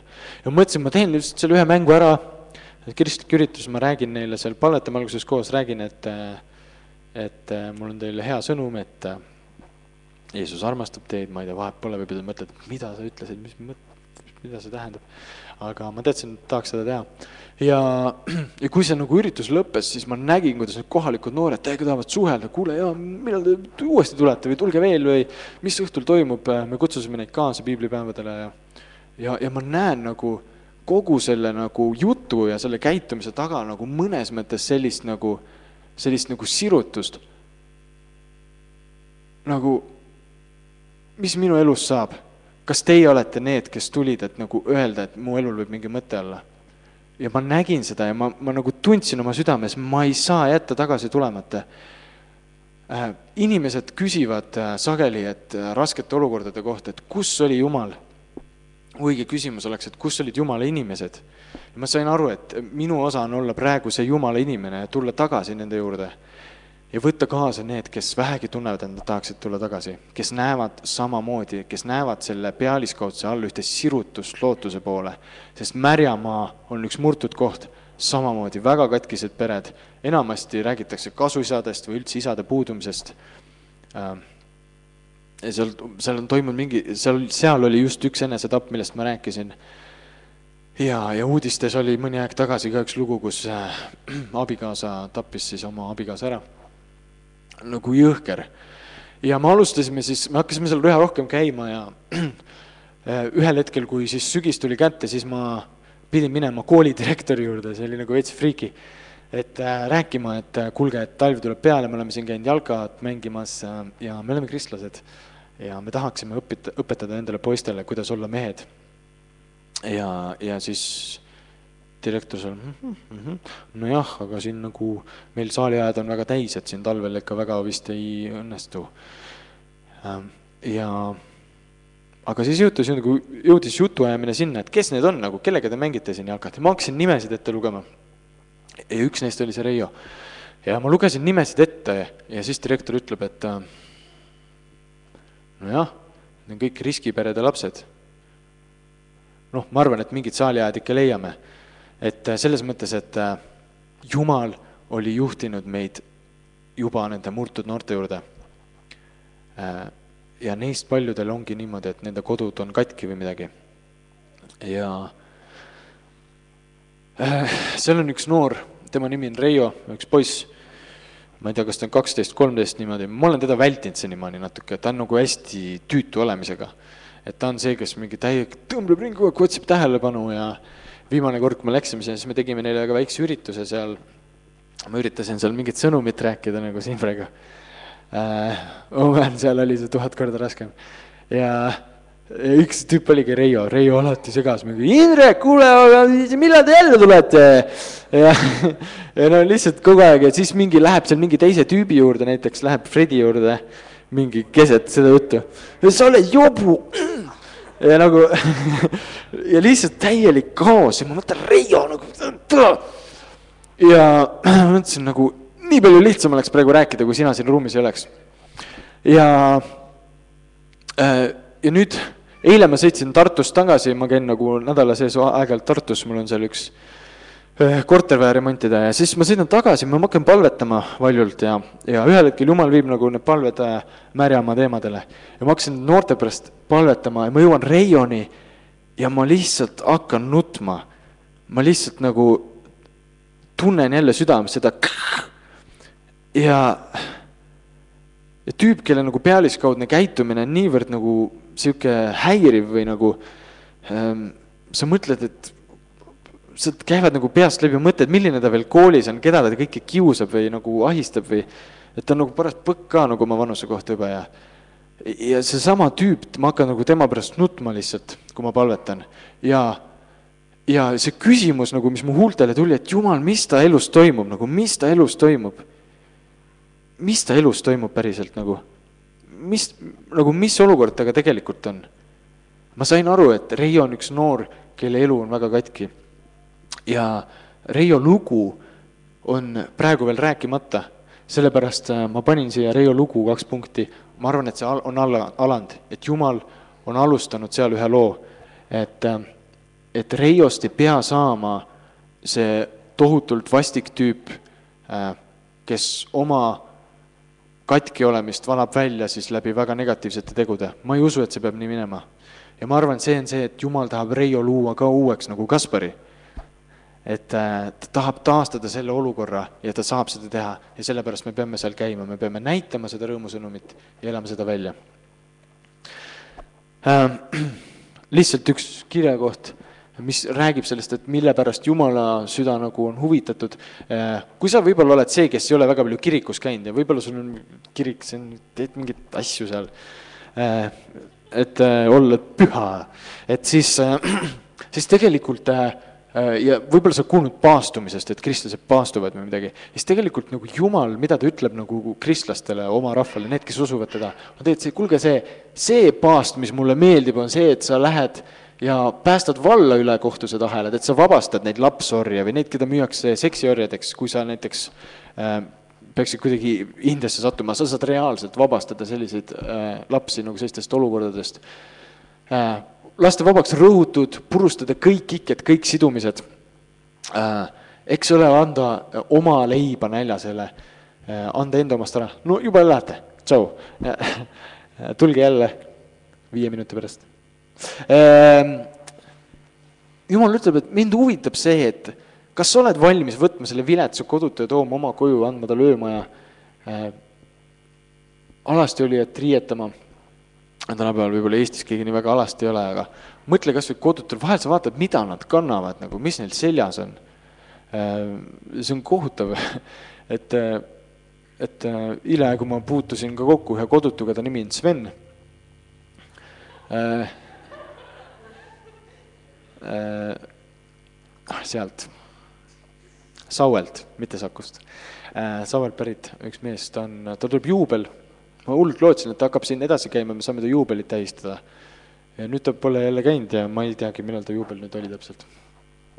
aga tüübil on hull vammus seljas, aga tal jope ei ulatu kokku, sest et ta ei leidnud paremat, tal ei ulata eest kokku hõlmad. ja siis ma vaatan, tal on särk siin all ja tal on särk nagu niimoodi ja tal on paljas nahk siin ja miinus viisteist oli ja sa nagu sel hetkel saad aru, et see ei pea nii olema, nagu ta saab ju midagi kanda, mida, mis, et tal ei oleks see kurk nii paljas ja siis käisime seal riietepoes veel otsimas asju talle selga. ma leidsin ka ainult, tahtis kombinatsiooni, aga see jäi väikseks talle jälle, ta kasutas ära, järgmine päev tuli tagasi, oli seljas. sinu kord on, kõik, ma tõmban jutu otsad kokku äh,. selle asemel, et küsida, et kus on Jumal nendes olukordades, mida ma tean ja minu elus on küsimus, et kus on Jumala inimesed. Nüüd kaks asja. esiteks, kui sina oled täna see, kes sa tead, et sa va-, vajad äh,, sa vajad seda kogemust, et Jumal loob su elu uueks. et kõik valus ja halb, mis su elus on seni olnud, see võib muutuda, sa tahad, et see täna muutub, siis tea, et täna on siin Jumala inimesi. mina olen siin, Kadri on siin, Kadi on siin, seal taga on Regina Äh, Kaur on siin, need on lihtsalt inimesed, kes on meil tiimis, Aimar, meil on nagu kokkulepe, me oleme alati olemas, äh, me oleme alati valmis olema need, kes on teie heaks siin, me tahame kuulda, kui sul on midagi jagada ja sinu eest palvetada. siis see on üks asi, leia keegi meist ja räägi oma lugu ja me palvetame. Ja usu mind, täna õhtul võib kõik muutuda, sul võib olla uus algus, sa võid olla Kaspar. Et sorry, Kaspar, ma loodan, et see on okei okay,, et ma kasutan nii palju sinu nime, lihtsalt see toob nagu selle näite lähemale inimestele. et äh, teine asi, kui sina tead olukordi ja asju, sa tead, et Jumal on sind juba taastanud, aga sa tead olukordi ja võib-olla sa isegi palvetad nende pärast, see on väga lahe, siis äh, võib-olla täna on küsimus, mida Jumal sulle esitab, kas sa oled valmis olema minu inimene, kes läheb ja sekkub nendesse olukordadesse, kes toob sinna õiglust ja, ja paranemist kas sa oled valmis olema see? Hiljaaegu ma jagasin Facebookis äh, mõtet, et ma usun, et maailma on võimalik muuta. ja see on niisugune asi, mida noh, on väga ohtlik öelda, ses mõttes, et sellest kogu aeg jahutakse. aga mida mina mõtlen, on see, et, et äh, sul on oma elus mingid suhted, sul on mingid tuttavad, sul on klassiõed, äh, klassivennad sul on need inimesed, keda sa tead ja ma olen täiesti kindel, et sa tead olukordi, inimesi, mis on valesti, äh, mis on katki ja seal peab toimuma mingi muutus, siis usu mind, Jumal tahab sind kasutada selle heaks. ja kui sul ei ole ka praegu juhiseid ja sa oled alles selle palve koha peal, siis Jumala küsimus on see, et okei okay,, sa palvetad, väga hea, aga kas sa oled valmis tegutsema? kas sa oled valmis tegutsema, kui ma midagi ütlen? ja tegelikult ongi nii, et me saame muuta maailma üks inimene ühe inimese haaval, üks olukord ühe olukorra haaval, seal, kus me oleme, me saame maailma muuta, me saame tuua seda kontrasti sisse, et midagi on olemas. kui te vaatate seda ruumi, siis see on enamasti pime, siin on vähe valgusallikaid, aga seal on paar tükki, üks on siinsamas taga, üks on see rist seal. ja rohkem polegi. siin on veel kolm tükki ja ometi see annab siia ruumi juba päris palju valgust, et isegi kui meid on vähe, siis see mõjutab palju, sellepärast mulle meeldib see käsk. Jeesus kui ta lõpetas äh, oma töö, ta oli juba varem öelnud, et ma olen tulnud, et tuua elu ja seda ülirohkesti, aga siis ta ütles, et aga nüüd andke teie seda elu edasi. ehk siis tehke jüngriteks kõik nendeks, kes mind järgivad, mind usuvad, kõik rahvad. siis me näeme, et Jumala süda on murtud kõigi rahvaste pärast äh, ristides neid isa, poja ja pühavaimu nimesse. ja need mõisted jäävad tänapäeval kaugeks ristimine, mis see tegelikult on see, et see on see, et inimene võtab täiesti nagu vastu selle usu, et tegelikult tal on taevane isa, kes on teda armastanud ja planeerinud, kes mõtleb sinust, et sa oled minu mees, kui sa oled vähegi valmis olema, sa oled minu tütar, kui sa vähegi usud seda. Äh, ja siis ta ütleb, et näed, ma olen andnud oma poja, ta on surnud ilma, et tal oli mingit süüd, inimesed lõid ta äh, maha. Kõige karmimal viisil karistasid teda omal ajal. Ja tegelikult selle läbi on sul täielik andestus. et ma olen andnud oma poja ja püha vaim on siis see, kes meid saadab, kes annab meile selle seesmise kindluse, et, et kahekümnendas salmis, et ma olen sinu juures ajast lõpuni, sa ei ole kunagi üksi, isegi kui sa oled füüsiliselt üksi. et äh, see on see, mida me saame edasi kanda, mida me saame äh, öelda. ma ei usu, et on paremat varianti. sageli on, mis juhtub, et kui me räägime äh, rasketest olukordadest ja murtud inimeste, siis me tahame kohe võib-olla ka sisse joosta. kaks varianti, ma ei taha, ma ei taha näha seda valu ja seda vastikust ja äh, või teine variant, et ja ma lähen, ma lähen aitan täiega, teen midagi, aga ma arvan, et äh, kumbki ei ole õige, ma arvan, et õige on tõesti viia nende inimesteni seda sõnumit äh, Jumala armastusest nende vastu, see on, mis lõplikult muudab need olukorrad. ja seal on oma teod kaasas, sa saad midagi teha, aga küsimus on see, kus sa ise alustad. mis on see sügavam sõnum seal taga? kust sa saad selle jõu, et teha head? kas endast või Jumalast?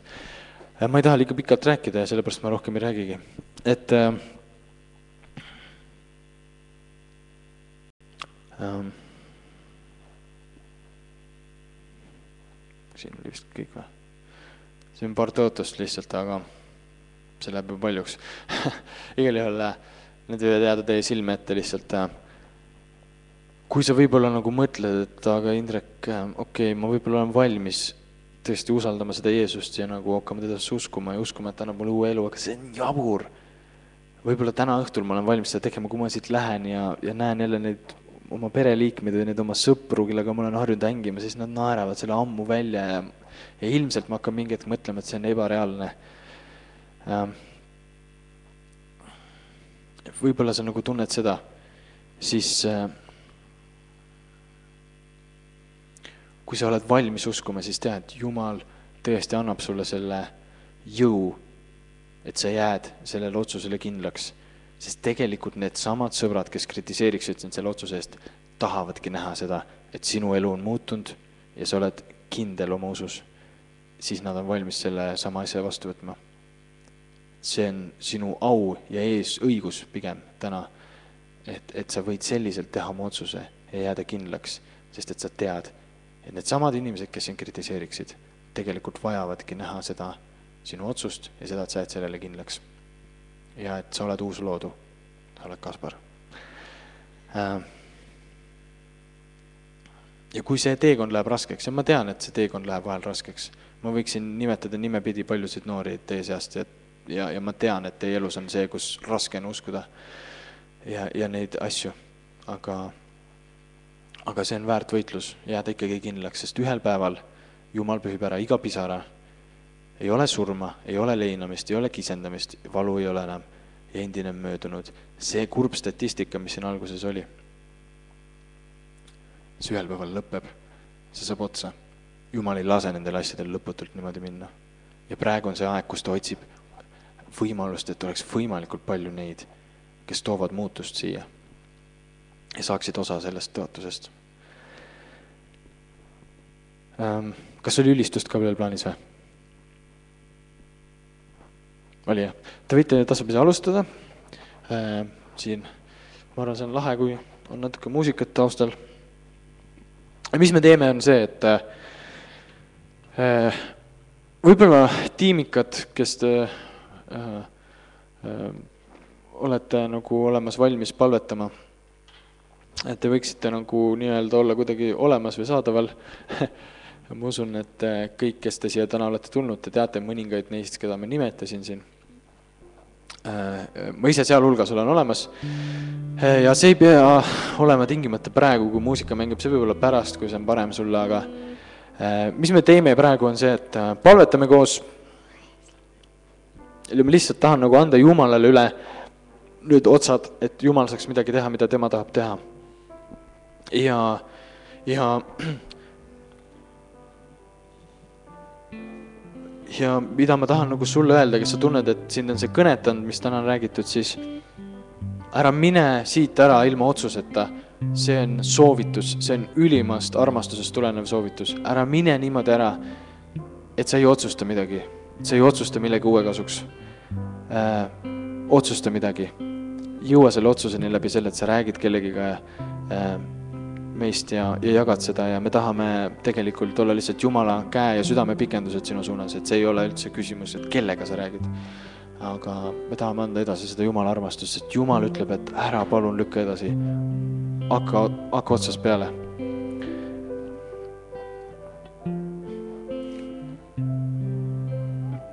kallis Jumal, ma tean, et minus endas, minus Indrekus äh, lihtsalt inimesena ei ole mitte midagi head.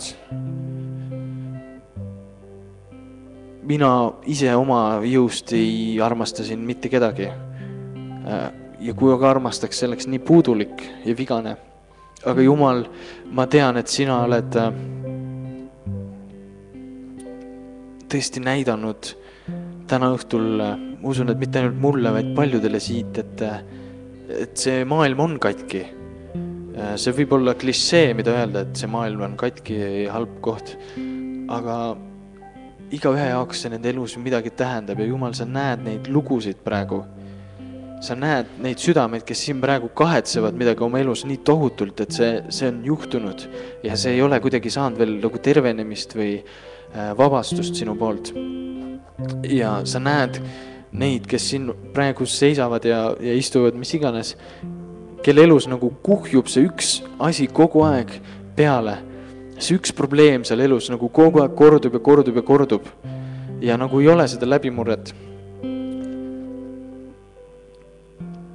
isa, sa näed neid, kes tunnevad, et neile on meeletult haiget tehtud äh, ja vahet pole, mida, mida nad nagu üritavad, see valu ei lähe ära või see, see ei saa päriselt lahendust. seda saab peita, seda saab nagu kuidagi põgeneda selle eest, aga, aga kui tahtad päriselt edasi eluda, siis elada, siis see nagu valu on ikka seal ja, ja seal ei ole toimunud seda läbimurret. jumal, sa näed, et äh, ka seda, et tegelikult on kõik need, kes siin ruumis praegu on, potentsiaalselt need, kel, kelle elu võib olla väga terve ja kes võivad seda tervenemist viia teisteni. seepärast, Jumal, ma palun, et täna õhtul toimuksid need vajalikud muutused meie sees ja läbi nende otsuste, mida me keegi saame langetada. et, et lihtsalt anda edasi seda lootust, mis sinu sees on ja ma täiega unustasin ära, millega see rida mul algas praegu palves, aga issand, ma lihtsalt tänan, et sa tahad teha midagi ülihead igaühe jaoks. ja su armastus võib saada reaalseks. jah, me ei näe seda füüsilisel kujul. Äh, me ei pruugi tunda mingit tuult, mis puhub meile vastu nägu. olukorrad ei pruugi laheneda nagu ühe laksuga ka meie süda võib saada täna vabaks. jumal, me võime sinu käest saada selle kindluse ja kinnituse ja me oskame need olukorrad lõpuni lahendada ähm..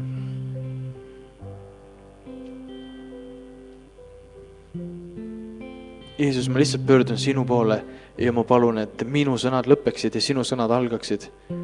kui veel kellegi jaoks ei ole alanud, et äh, sina räägiksid praegu edasi nendesse südametesse jumal, lihtsalt tule ja, ja täida see paik, sest et ma tean, et sa armastad igat ühte väga palju, kes siin on. igaüks, kes siin on, on täisväärtuslik sinu jaoks. kui sa peaksid meid välja ostma, sa maksaksid igaühe eest sama hinna, vahet pole, kui äh,, kuidas meie ennast tunneme, kas me oleme väärtuslikud või mitte. sa maksaksid sama hinna ja sa oled maksnud. jumal, lihtsalt liigu selles kohas ja ähm, anna igale ühele julgust teha oma otsus, saada terveks või hakata teisi terveks tegema. Sinu väes ja selle jõuga, mis tuleb sinust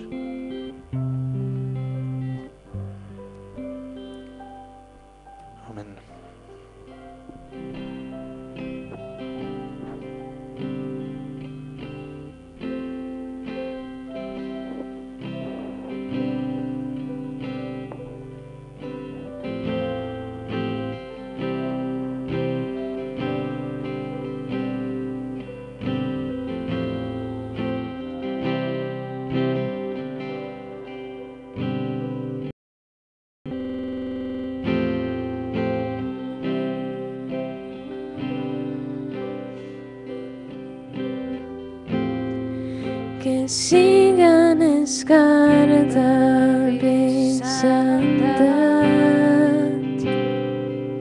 seda ta õpetab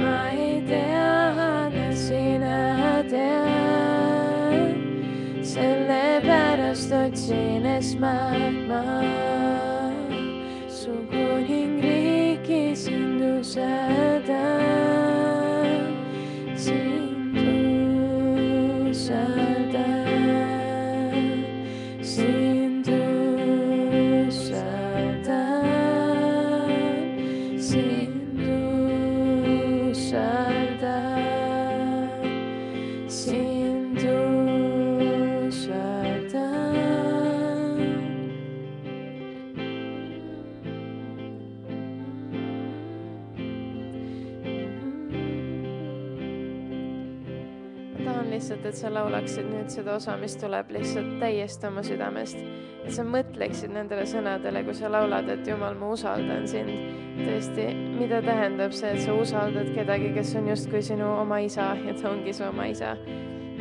mida see tähendab, et sa jätad, et, et kõik see, mis on sinu sees, see ülistab Jumalat ja, ja et sa tänad teda selle eest, et sa võid käia Jumala teel, mis on lihtsalt parem kui kõik teed, mis siin maailmas võivad olla ja tõesti see, et ükskõik, mis meie elus seisab ees, ükskõik, millised on need olukorrad, et me võime ikkagi usaldada oma Jumalat, sest me teame, et temal on parim plaan meie jaoks.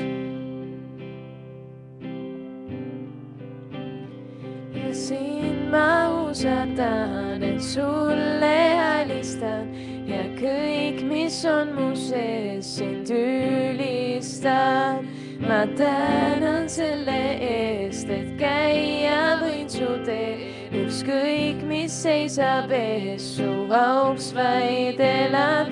Ja sind ma usaldan, et sulle alistan. Ja kõik, mis on mu sees, sind ülistab. ma tänan selle eest,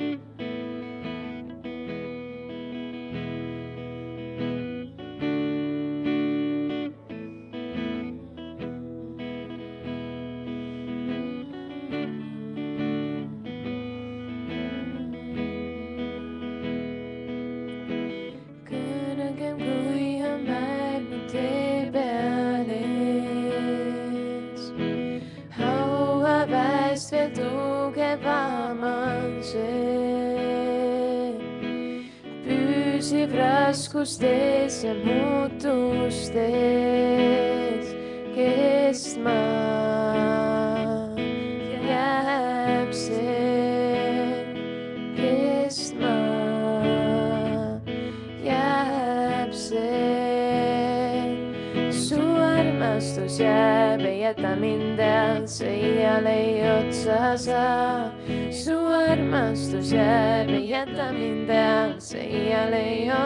Otsa saa.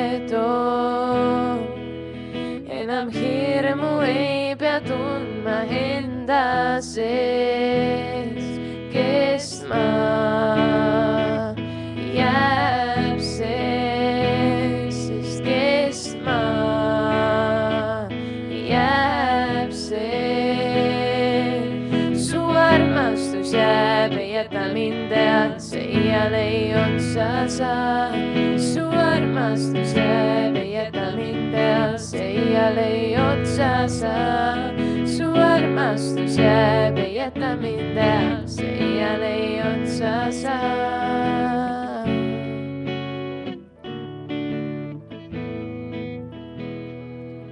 sest nüüd ma tean nii elus kui ka surmas katab mind su armastus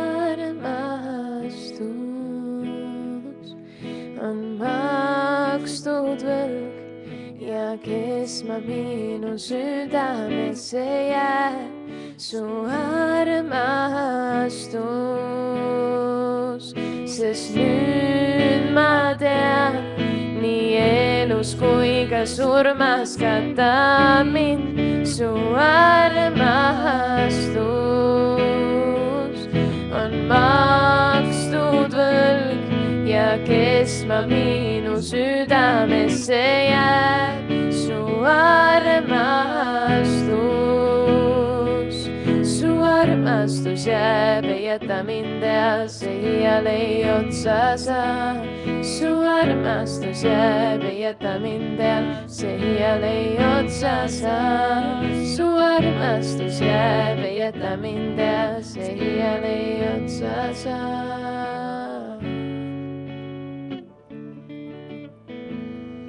see pole mitte hea teada, et Jumala armastus jääb alati koos meiega ja tõesti, tema armastus see on nii suur, et me ei kujuta seda mitte kunagi ette ja see ei saa mitte kunagi otsa.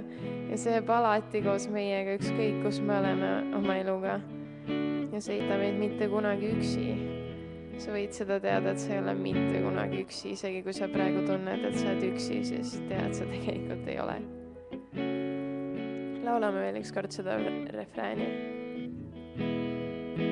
su armastus jääb, ei jäta mind ealse iiale otsa saa. su armastus jääb, ei jäta mind ealse iiale otsa saa. su armastus jääb, ei jäta mind ealse iiale otsa saa.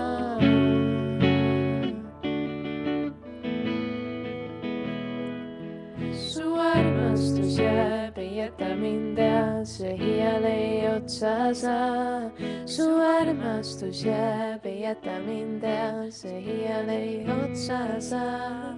su armastus jääb, ei jäta mind ealse iiale ei otsa saa.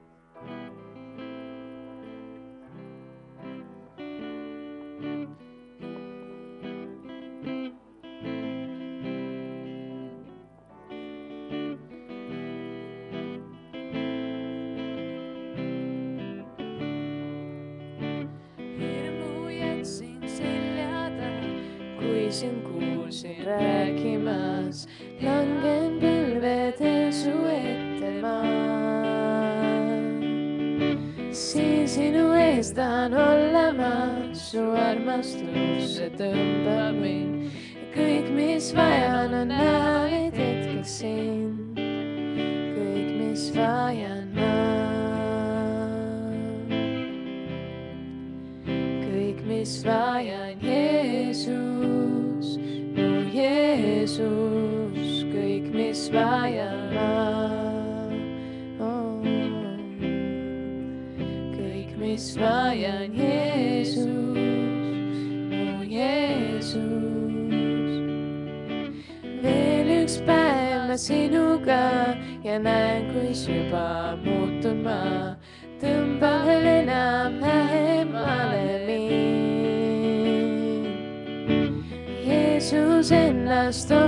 päästas ja maailma päästis ta.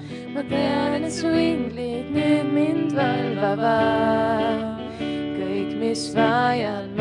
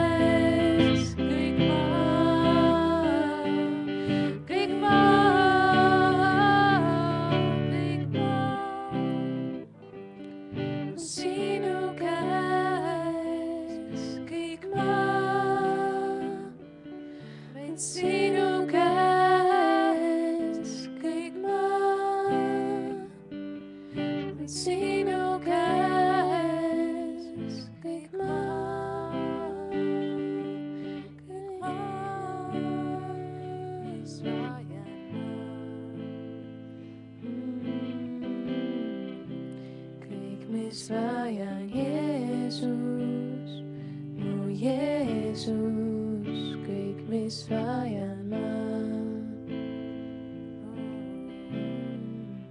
kõik,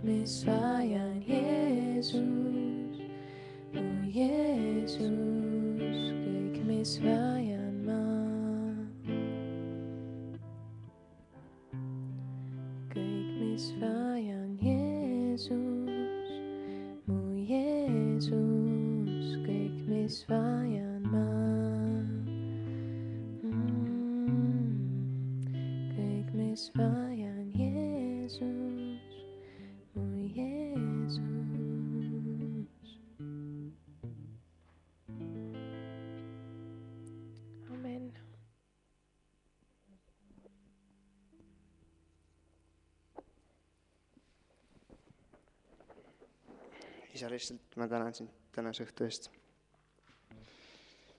isa, ma palun, et sina oleksid see, mida me vajame ja kõik, mida me otsime.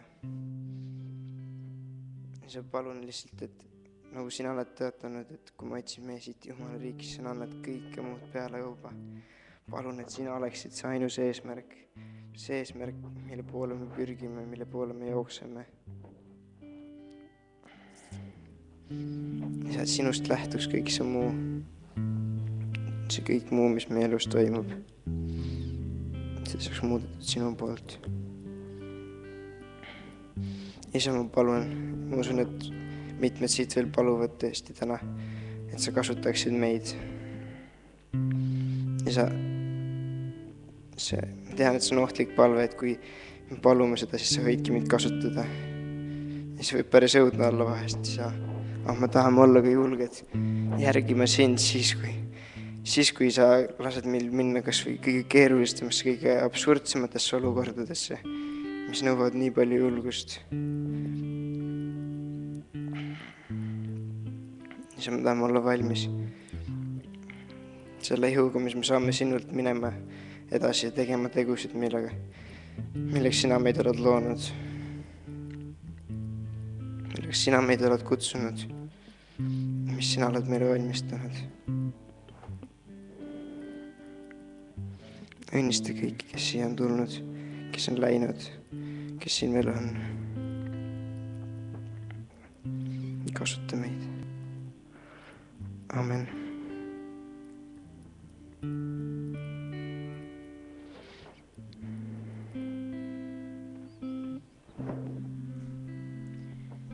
varsti tekib meil sinna eesruumi üks äh, snäkilaud ja te saate kõik minna sealt endale midagi head võtta.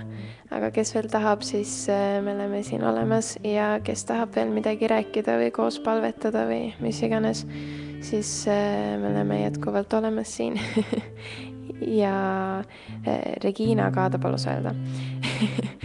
ja nii, et äh, kui sina tunned, et sina tahad midagi rääkida, siis äh, sa võid tulla ja kui sa ei soovi, siis kõik on täiega okei okay ja sa võid minna võtta snäkki ja lihtsalt ole täiega õnnistatud.